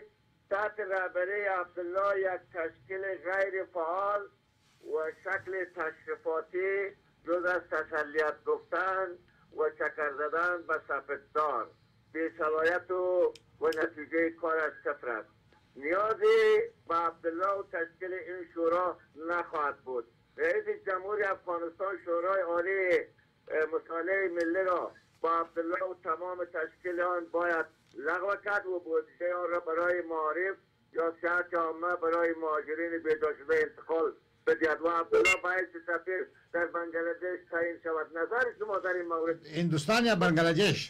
هندوستان یا بنگلادش بله میرا ریاست بربری وکړي بله خدمت چه آقای نوری صاحب سلام و احترام تقدیم میکنم صاحب جناب ایشان همیشه صاحب در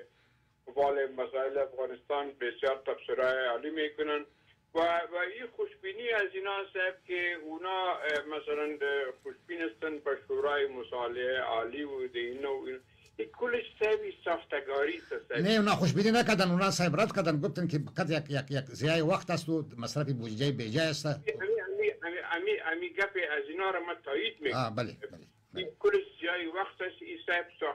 ساختکاری است وقتی مردم افغانستان هم صاحب ضایع می سازه و هیچ کاری هم صورت گرفته نمیتونه بهترین کار اینمی سزد که ما و شما اینمی متخصصین واقعا وطن دوست را که مشخص بسازم اینا را حمایت و تقویت بکنیم از اکناف مختلف جهان برای اینا زمینه سازی بکنیم در میدیا و تلویزیونا و صاحب که اینا داخل صحنه شوند صاحب بیاناتشان صاحب نظریاتشان ابراز شود و و و فعالیت هایشان صاحب پرسیده شود که چی فعالیت کردن صاحب چی خدمت کردن و چی میخواین در افغانستان در در هر قسمت متخصص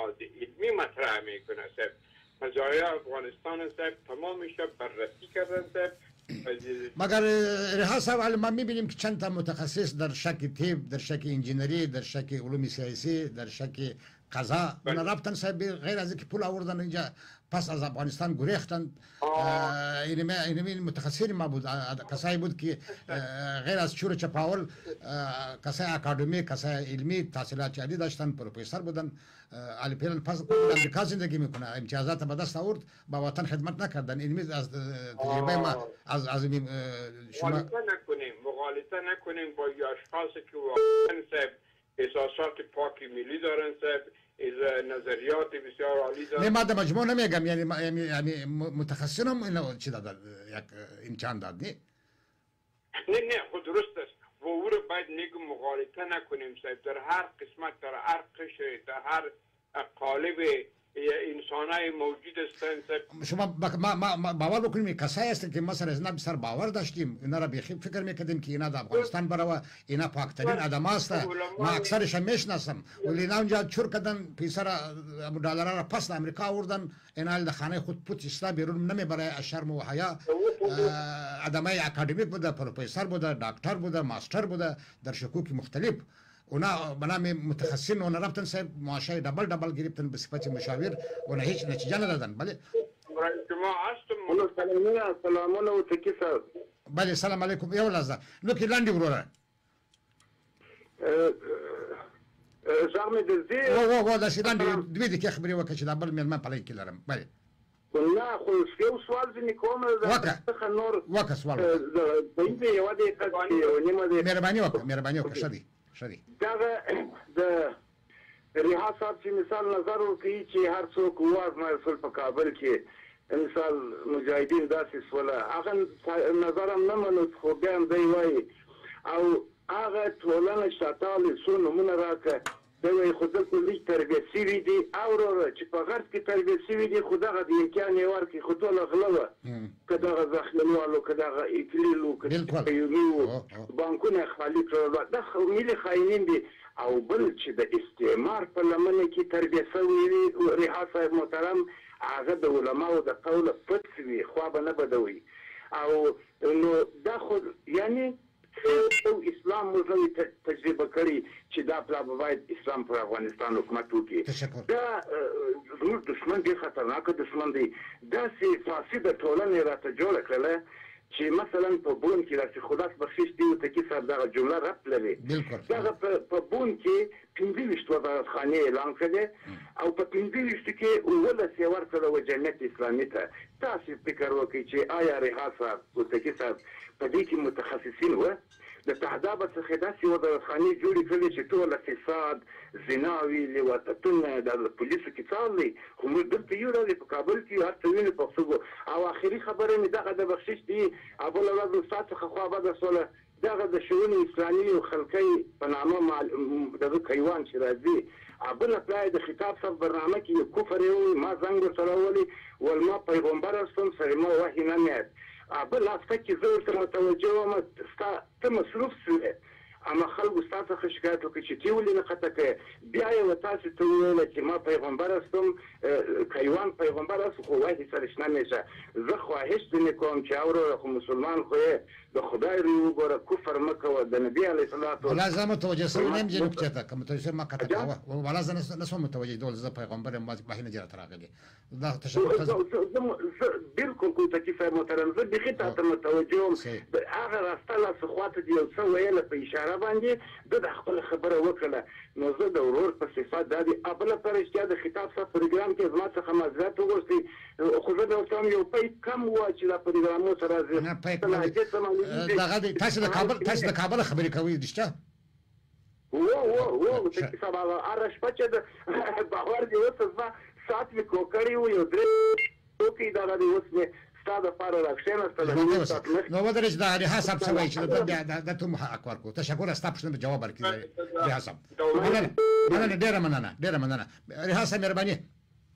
او دا ورور ته هم ډیر سلامونه وړاندې کوم دی ډیر زیات روشنه سړی دی ښه نظریات لري مونږ تا په یو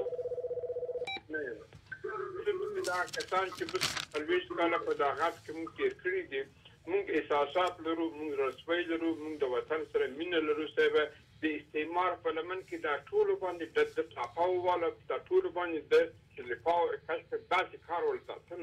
تنو مکه او صاحب ګرد صاحب خپل لغت او تو وای صاحب آکسان چې په داخل کې دي هغه مستحق دي هغه هغه کولای شي افغانستان آباد کې دا نور ګرد د استعمار په لمن کې ټول شي داسې قضاوت ورته هیڅ وخت مه کوه تشکر داسې کسان دي صاحب چې واقعا داسې کسان دي صاحب چې د وطن هیڅ پرابلم نه لري مادي پرابلم نه لري صاحب ګرد مشکلات یې رفع دي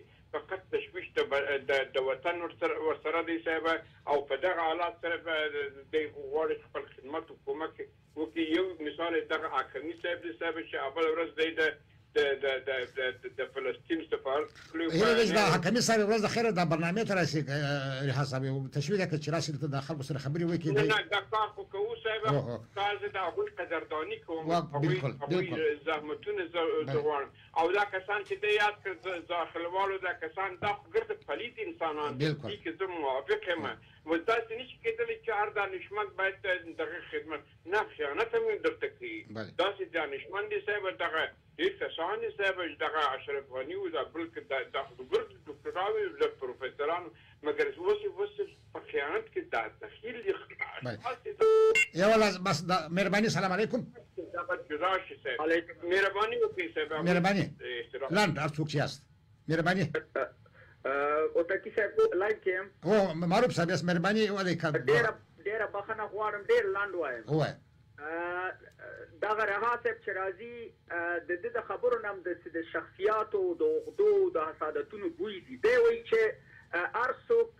چې دا کار د سولې لپاره کوي نو هغه چې ده د شخصیاتو لپاره یې کوي لعنت د هغه انسان شي نفرین دې په هغه انسان شي چې د سولې نوم اخلي او هغه بیا د ځان د شخصیت لپاره استعمالوي خدای دې داسې انسانان په اویا دوزخه کې وسوځوي او راځو په دې حصه کې چې دا د دانشمندانو کار نه ده دانشمندان کوم دانشمندان دانشمندان دا څلوېښت کاله کې چیرته وو شرابونه یې وهل، کبابونه یې وهل، توهین دې ورته ونیسي، په غرب کې ډانسونه کول، اوس راځي د افغانستان مسله دوی حلوي. دانشمندان ټول ټول تښتیدلي دي، دانشمند مونږ نه لرو، دانشمند ټول افغانستان ټول د دانشمندانو د لاسه خراب ده، ولاکه د عوامو د لاسه خراب وي،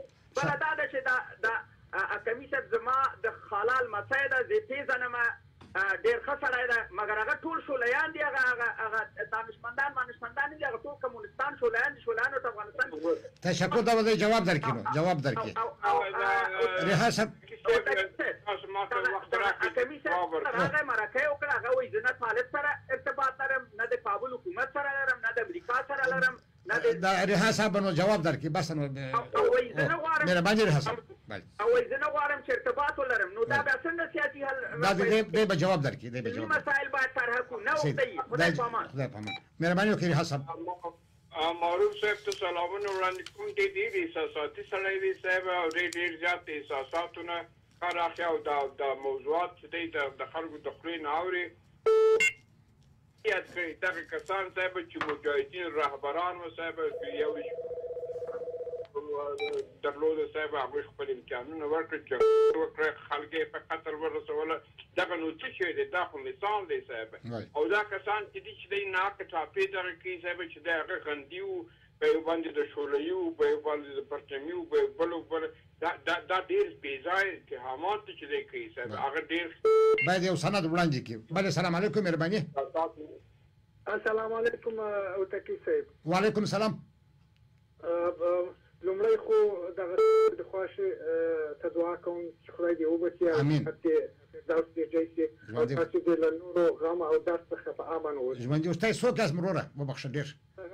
زه غوث پال یم. استاد. غوث پال و. وتکی صاحب د دوه درې ځلې داسې خبره یاده شوه چې طالبان دغه نه کوي ګډ حکومت له حکومت سره نه جوړوي یا له دغو نورو مجاهدینو یا له دغو تنظیمونو سره نه جوړوي نو که خبره همداسې وي چې دوی ګډ حکومت له چا سره نه جوړوي نو سولې خبرې ته ضرورت نشته، نو چې دوی ولې هلته ناست دي او چې کله سوله نه وي نو خو جګړه ده، جګړې ته به دوام ورکوي. نو زما په خیال سره طالبانو چې هوکړه کړې ده له امریکا سره په هغه کې واضح نشته چې ستاسو به نوی اسلامي حکومت ګډ حکومت جوړوئ. خبره پر دغه حکومت باندې ده. نو دوی په خپله دغه تعهد یا هوکړه ماته کړله. نو طالبان به ملامت وي په راتلونکي کې د ولس او د هېواد لپاره. بل څه چې زما ویل هغه دغه محترم زه نه وم اوس مې واورېدل چې دغسې یو علمي شخصیتونه یا دغسې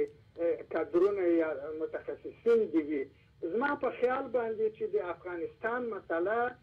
د علمي او تحقیقي بحث نه دی، هغه یوازې د قدرت او د واک وېش بحث ده، نو د دې لپاره باید موږ یو د وېش لاره پیدا کړو، راځئ داسې یو لاره ولټوو چې په هغه کې دغه قدرت وېش شي او دواړې خواوې یا درې خواوې قانع شي، دغه واک کې موږ سره کېږو او دغه زما حصه بس ده، دغه ستا ده، دا ستا ده. علمي بحث نه دی چې په تحقیق باندې په بحث کېږي یا په تحقیقات کیږی هیڅ شی نشته. تشکر دا دایره هسه به تا تاسی نوم څوک وبخشه ډیر بخشنه غواړم. یوه یوه یوه جمله بله هم وایم هوتکی صیب هغه دا دی چی د حل لاره د حل لاره په زور او په دغه کی نشته په ښکنځلو په توهین او په تحقیر کی نشته په استدلال او منطق کی راځی دا ولټوو دا بعضی کسان چی دغه کوی یو بل ملامتوی په یو بل نامه باندې ټاپې باندې وهي یا ښکنځلې کوي، دا د حل لار نه ده. زموږ د حل لار په استدلال کې ده، په په لارښوونه کې ده، په منطق کې ده. راځئ د منطق لاره پیدا کړو، د افغانستان خلکو ته یې ور وړاندې کړو، طالب ته یې ور وړاندې کړو، حکومت ته یې ور وړاندې کړو، و دغو مجاهدینو او دغو ته یې ور وړاندې کړو چې هغه لار غوره کړو. راځئ په یو. ډېره مننه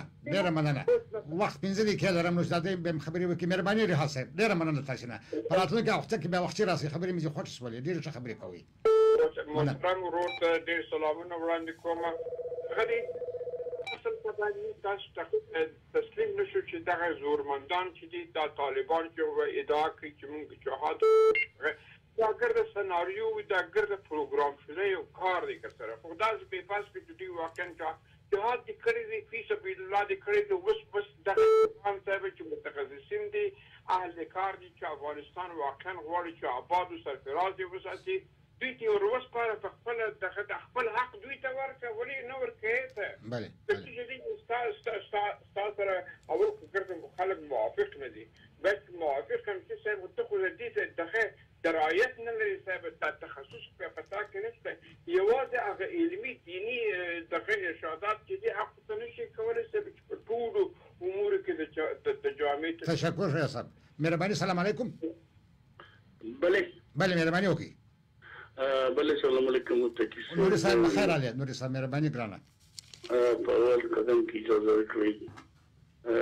زه تاسو د خوښې دملي له کبله زه تاسو ستاسو درنې کورنۍ او زما خور مېرمن ماهۍ لوتکي ته تسلیت وایم خدای دې وبښي او جنتونه یې دې په نصیب شي ځکه چې دا یو دین مو ما ادا کول غوښتل او تا له کابله یو بل پېژنو او مشترک دوستان لرو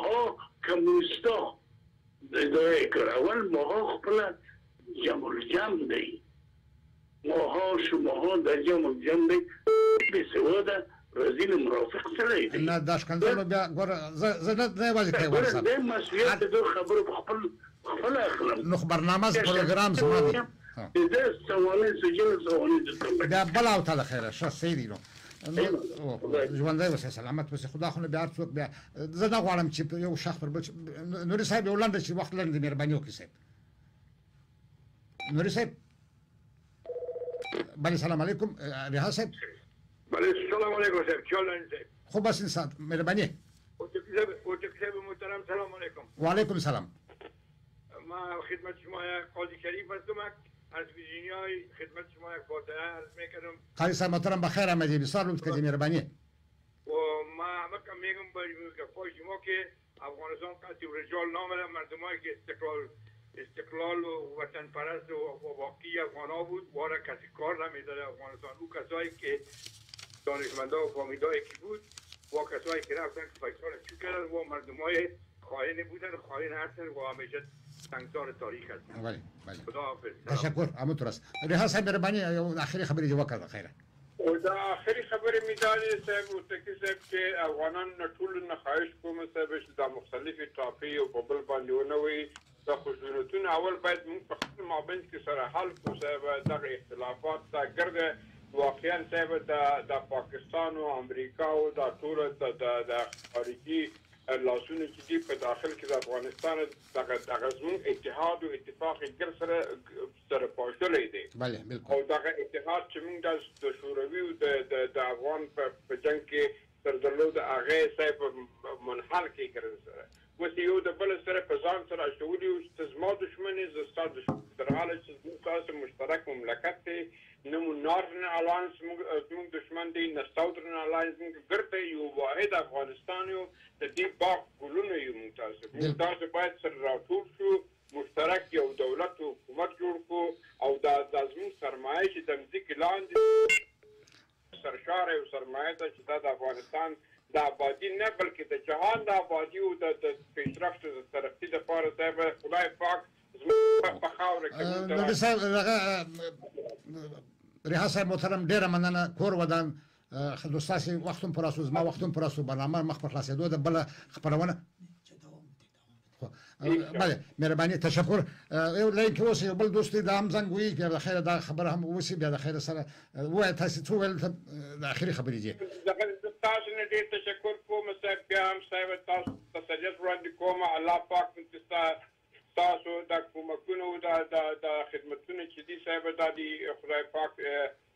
تاتو تاسو ته صحت درکړي چې ادامه ورکړي او دغه دی دا ډیر زیات د افغاني ټولنې لپاره د یو غنیمت په حساب چې دا پروګرامونه پخشیږي نو وګورو چې په آینده کې خدای پاک چې د افغانستان صاحب آرامش او او سرفرازي صاحب زموږ تاسو په نصیب کې او دا د افغانستان خلک آرامش غواړو بس لاس. زموږ هدف هم ریحا صاحب دغه دی چی فقط یو یو لږ څه خدمت وکړو دغه میډیا له لاری څخه بل څه خو نور موږ نشو کولای دغه ستاسو دوستانو په همکاری سره غواړم خیر خیر دغه اواز پورته کو دغه وطن مو دی دغه افغانستان مو دی دغه مو ګډ کور دی سلام علیکم مهربانی وکړئ صاحب مهربانی آقای اوتکی بله. آقای اوتکی معذرت میخوام که دوباره آمدم خیر باشه خیر باشه حرفای من اثر اینات نیست آقای رها یا نوری یا هر کسی است درباره جهاد صحبت کرد من یک سوال دارم آیا یک مسلمان قرآنی یک مسلمان راستین با اشغالگر جلسه میکنه قرآن میگه با تجاوزگر صحبت نکنید زیرا منافق است و تا این لحظه ایاد از استقلال آزادی وطنتان دفاع کنید آیا شما تنظیمی ها طالبان مقلدین و پیروای اشغالگران نیستید آیا شما غلام غلام نیستید آیا شما وطن فروش و دیر فروش نیستید آیا سنگسار زن قرآنی است در می باره صحبت بکنید اگر شما زن را سنگسار کردید و انسان حلال کردید شما چی نوع انسان هستید آقای کیوان می خواستیم یک چیز برش بگویم که لطف کنید در صفحه آقای هوتکی بیایید بنویسید که چقدر معنویت و روی کرد زندگی دارید تشکر می کنم از شما آقای. تشکر انجینر صاحب محترم ما والا همین اکثر دوستا تنها نامش هم پامم یعنی هغه چیرا انجینیر صاحب میپم که انجینیر صاحب نصیر است از نیوزلند ولی از نزدیک نمیشناسیم میشه هغه کیوان هم همچنان تلفنی ارتباط کتی همه دوستا داریم یکی همین خوبی های میدیا است که آدم بسیار دوستا را پیدا میکنه همیشه کسی در تماس میباشه ولی پیش ما همه دوستا یکسان است من بسیار کوشش میکنم که همین شخصیت هر کسی نگاه کنم هیڅ کس شخص ترور شخصیت نشوه علمی هدف ماسته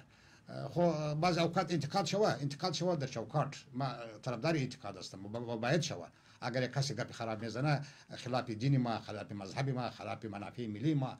میتونیم که ما رو انتقاد کنیم جلوی از را بگیریم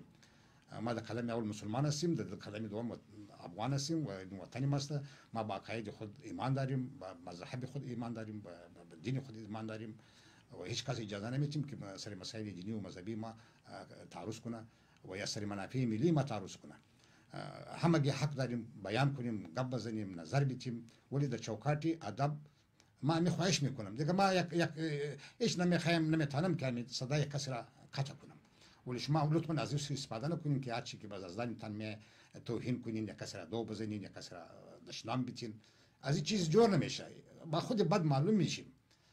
کسای را گپای را خوش داره که او دازو یک یک یک بوید دوستی و برادری و همتنی به وجود بیه نه ای که ما یک دیگر به الفاظ بد بگویم یعنی اگر انتقاد میکنین در مورد از یک شخص ما نظر میتیم ما حاضر هستم مرا بشنوم امیر نشر کنم قطع نکنم ولی امی مسائل که ما خاصه افغان است و خاصه ما و شما است که احترام متقابل در چوکاٹ ادب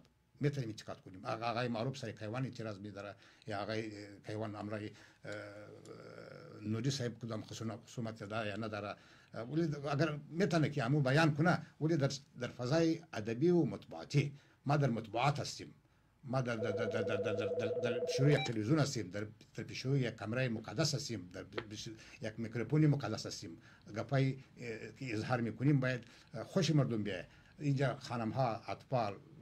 برادرا به استفاده ما و شما را میبینه و میشنوه سلام علیکم مهربانی کن مهربانی مهربانی وکړئ صاحب ستاسو اواز په لین کې دی نو دا خبرې چې یو خبره کوم چې زه بیا هم د ټولو دوستانو څخه مننه کورودانې وایم چې ماته تسلیت راکړي زما د مرحوم خواشي واقعا دا یو ډیره مهربانه ډیره مسلمانه ډیره وطن دوسته ډیره عالمه شزوه خدای دې غریق رحمت کړي ستاسو ټولو دوستانو مشرانو څخه ما ته چې تسلیت مو کوي د ټلیفون له لارې د فیسبوک له لارې د د د د ایمیل له لارې مننه کوم بیا دلته مو دوستانو هغه اظهار د دوستۍ وکړي کور مو ودان او بل زما یو لوی هیله او خواهش دا دی چې دا لطفا خپل کومکونه په 2021 کال کې یو ځل بیا ما سره وکړي تیر کال کی موږ څه سوچ دا برنامه ژوندی پاته سی دا ژوند برنامه مخته ولاړه سی دا زما یو هدا زما یو هیله زما یو زما هیله و هدف خواهش دی چې دغه برنامه کومک او مرسته وکړي دا به ستاسو لپاره او زما لپاره یو غنیمت وي چې دا خپل اواز وباسو خپل غږ وباسو خپل مفکوره خپل ایډالوژي د ملګرو سره شریکه کو نن افغانستان په ډیر بد حالت قرار لري د افغانستان د پاره موږ مختلف نسخې لرو او ټول باید واوریدل شي دا زموږ تاسو دینی ایمانی او افغاني وظیفه ده چې د خپل ګران افغانستان چې موږ تاسو د زړه کوم مینه ورسره لرو زموږ پلار دی زموږ مور دی وطن زموږ زموږ ځان دی زموږ هر شي دی سلام علیکم مهرباني بله سلام علیکم ای تلفن قطع میشه مثلا چی زنگ میاد بس قطع میشه خو خیر باشه خو دغه خبرې جن بس راځي چې زه ما چې یو څو دقیقې نور وخت سټوډیو راکړي که تاسو علاقه لري خبرې وکړئ مهرباني زګه مې پس کاته نشه باندې پم خو پار تک چې باندې پم کې چاره ایتل میشه ای زنګ تشکر فریدون جان به مایک پنج دقیقه ده دقیقه وقت ده خو زنده باشی گفتن که باش یک چند کم صحبت کنین دوستا بله سلام علیکم بله محترم اودکی صاحب من نظرتان بسیار عالی میدانم که بر برادرها گفتین که شما یکی دیگر را توهین نکنین کسی که یک نفر دیگر را توهین میکنه در حقیقت خود توهین امو حیثت خود توهین میکنه کسی که به خود احترام داشته باشه نظر دیگران نظر دیگران هم نظر احترام میبینه هر کس نظر خودم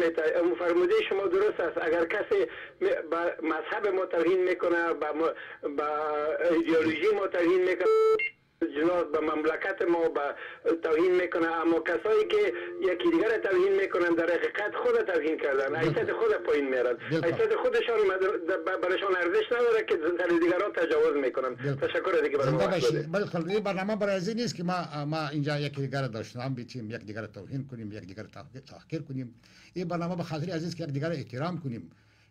از یکی دیگر به خوبی یاد کنیم خو انتقاد سر یک نفر داریم ولی سر مسائل شخصی شاید ما نمیخوایم بگردیم ما به همه دوستان علاقه چی احترام دارم همه گیرا بعضیش میشناسم آقای نوری که از فلوریدا این از افغانستان میشناخته میشه یک آدمی شاعر است یک آدمی ادیب است شخصی بسیار خوب است آقای پیمان همگی یعنی منظور ما است ما با همه باید احترام داشته باشیم یعنی یعنی شما هستین که این پروگرام های تلویزیون شما گرم میسازین اینجا صحبت میکنین اینجا نظر میتین همگی اشخاص و افرادی هستین که در مغزتان یک چیزی هست همین که زنگ میزنین هر کس که زنگ نمیزنه هر کس نمیتونه که مسائل افغانستان تحلیل و تجزیه کنه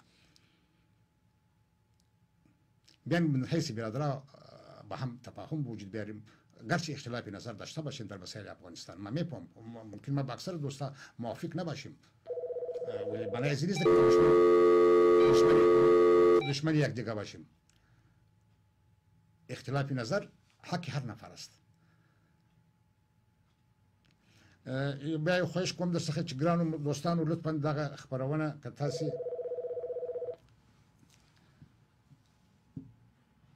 بله السلام علیکم ټلیفون منه په کې بلازم تلفن میاد پس قطع میشه برای مکشرتون میشه شما ها دوست شاید هم تلفن دیگه میاد او چراغ سبز اگه روشن میشه او باز خب شما با ما یک زنگ بزنید که تلفن ما یک امتحان کنیم دوستای عزیز که ببینیم که چه گپ شده دیگه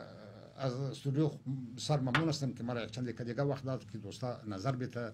گپ بزنه ما هستم یک چه دیکه هم هستم از آقای رهاب بسیار زیاد امتنان و ممنون که نیم ساعت برنامه را سپانسر شد و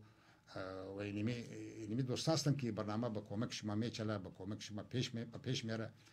او زما هیله بیا دا هغه دوستانو څخه چې ما سره تیر کال کومکونه کړی دي که لازم سو نمونه درته وایم چې بیا ما سره په راتلونکي پروګرام کې بیا برخه واخلي بله سلام علیکم مهرباني وکړئ السلام علیکم وتکی صاحب وعلیکم سلام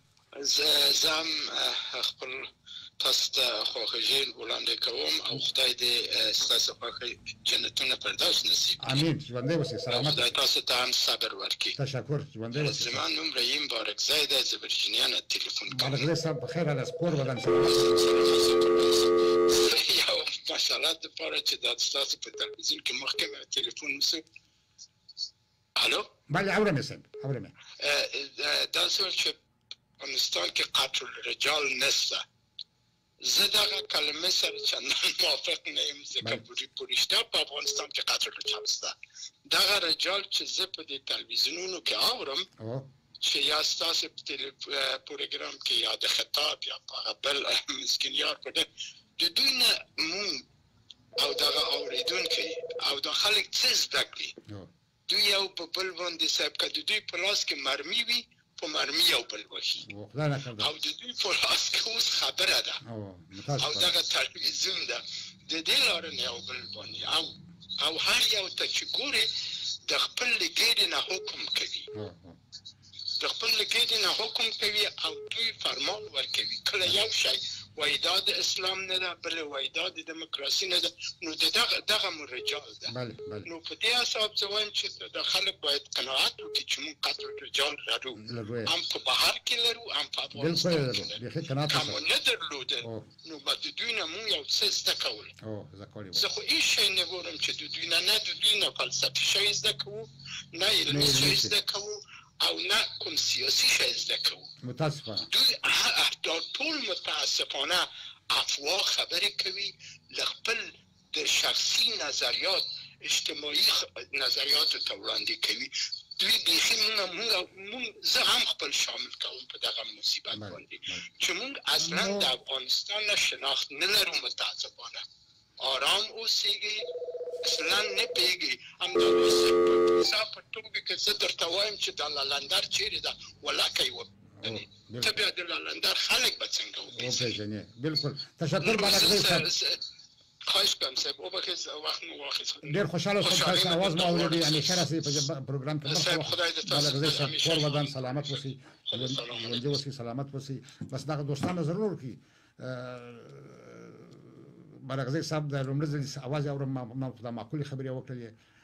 وای په افغانستان کې خو دغه موږ دغه سیاسيون دغه دي چې د څو په تلا نه لرو متا په خبرو د بل سره وژنو نو دغه افغانان چې په مجموع کې دغه زموږ خلک دي دغه مو جامعه ده دغه مو ټولنه ده دغه مو استعدادونه دي سلام علیکم مهرباني وکړئ سلام علیکم وعلیکم سلام په اول تسلی درکوم تاسو د خوښي الله دې هغه وبخښي امين امين دوه مې دا ویله دا ستاسو یو نظر غواړم په دې باره کې د افغاني ټولنه داسې ده هر سړی خپل نفر لري څوک خلکۍ څوک پرچمۍ څوک مجاهد دی څوک طالب دی نو دا هر که دوی سره یو ځای نسی کله په نوره نړۍ کې چې د اوس مثال پاکستان دی، هغه دی د عمران خان په خلاف دا یوولس ګروپونه سره یو ځای شوي دي، په هغه کې دا زموږ په حساب خلقۍ، پرچمۍ، مجاهد، طالب ټوله سره یو ځای دي، نو که زموږ هغې هم دغسې سره یو ځای نه شي، نو دا حکومت خو نه شي چلې دای. اوس خو هغه چې سره یو ځای دي، انډیواله خو په دا حکومت خو نو هر څوک شته، د هر ګروپ، د هر حزب، د هر.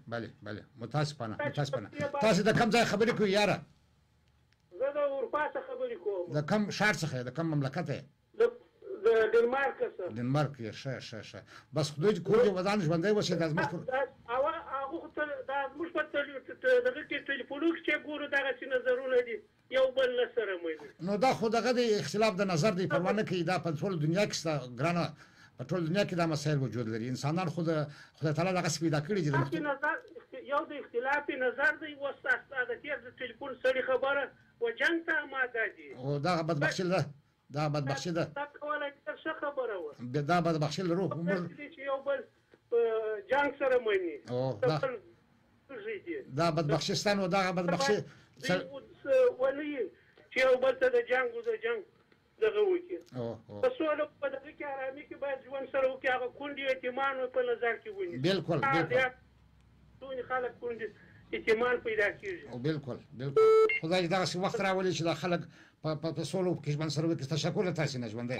دغه زموږ د ټولو دغه ارزو ده ټول افغانان دغه ارزو لري چې دغسې سوله راسي بله سلام علیکم مهرباني وکړي بګو تاکي زه سلام علیکم نسیم هستم نسیم کمین.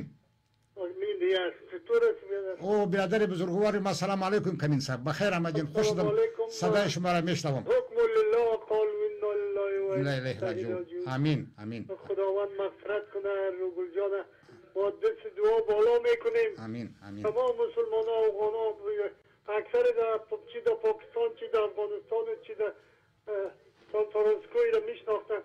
ناچی یک خانم بسیار مهربان یک خانم بسیار دلسوز یک خانم بسیار وطن دوست دست دعا بالا میکنیم که خداوند مغفرتش کنه و در پاکی کسی داران باشه و خداوند گناهش عفو کنه برای تمام فامیلش و شما خانمتان تمام فامیلش عرض تسلیت داریم خدا حافظ ناصر. زنده باشین محترم جنرال صاحب تشکر ستاسو از حسن نظر عظیم تسلیت شما شما یک بزرگ ما هستین خداوند شما را صحت بیته خدا شما را طول عمر بیته آقای کمین برادر آقای شفیع زاکر است که اونا دو برادر هر دویشان وطن دوست بوده هر دویشان شخصیت های اکادمیک بوده هر دویشان تحصیل کرده بوده و هر دویشان خدمتگار افغانستان بوده بسیار زیات تشکر آغای کمین بسیار ممنون امی که زنگ زدین امی تسلیت دادین خانه تان آباد شما خو روگل جان میش ناخسین طبعا یک خانمی از هر لحاظ خداوند اینا را مکمل خلق کده بود با ما یک ایسیتی مادر داشت تشکر از شما تشکر از شما خوخ هستی ما چون اون که توی ده خو از فریدون جان بسیار زیاد ممنون از استودیوی مرکزی بسیار تشکر این برگرای ما رو به اختتام است تل دیوی افغانستان تل دیوی د افغانستان خلق سوله د جنگ پای او وروری برادری دوستی اشنایی دغه زما هدف دی د دې پروګرام هدف دی د دې خبرونه هدف دی در بلې جمعې پورې در سهار در یوولس بجې د کالفورنیا پر وخت ستاسو په خدمت کې حاضرېږم. پر لوی الله مو سپارم. زنده باد افغانستان، زنده باد وحدت ملي، زنده باد برادري، زنده باد برابري، زنده باد بیرق سه رنګ افغانستان، تور، سور او زرغون. پر خدای مو سپارم. در بل خپرونې مو الله مل شه. د خپرونې تکرار نن شپه د کلفورنیا په وخت د شپې پر یوولس بجې او دېرش دقیقې عمر وي. د دې خپرونې سره کومکونه وکړئ، مرستې وکړئ، ټلیفونه وکړئ چې دا خپرونه باقي پاتې شي. الله مو مل شه.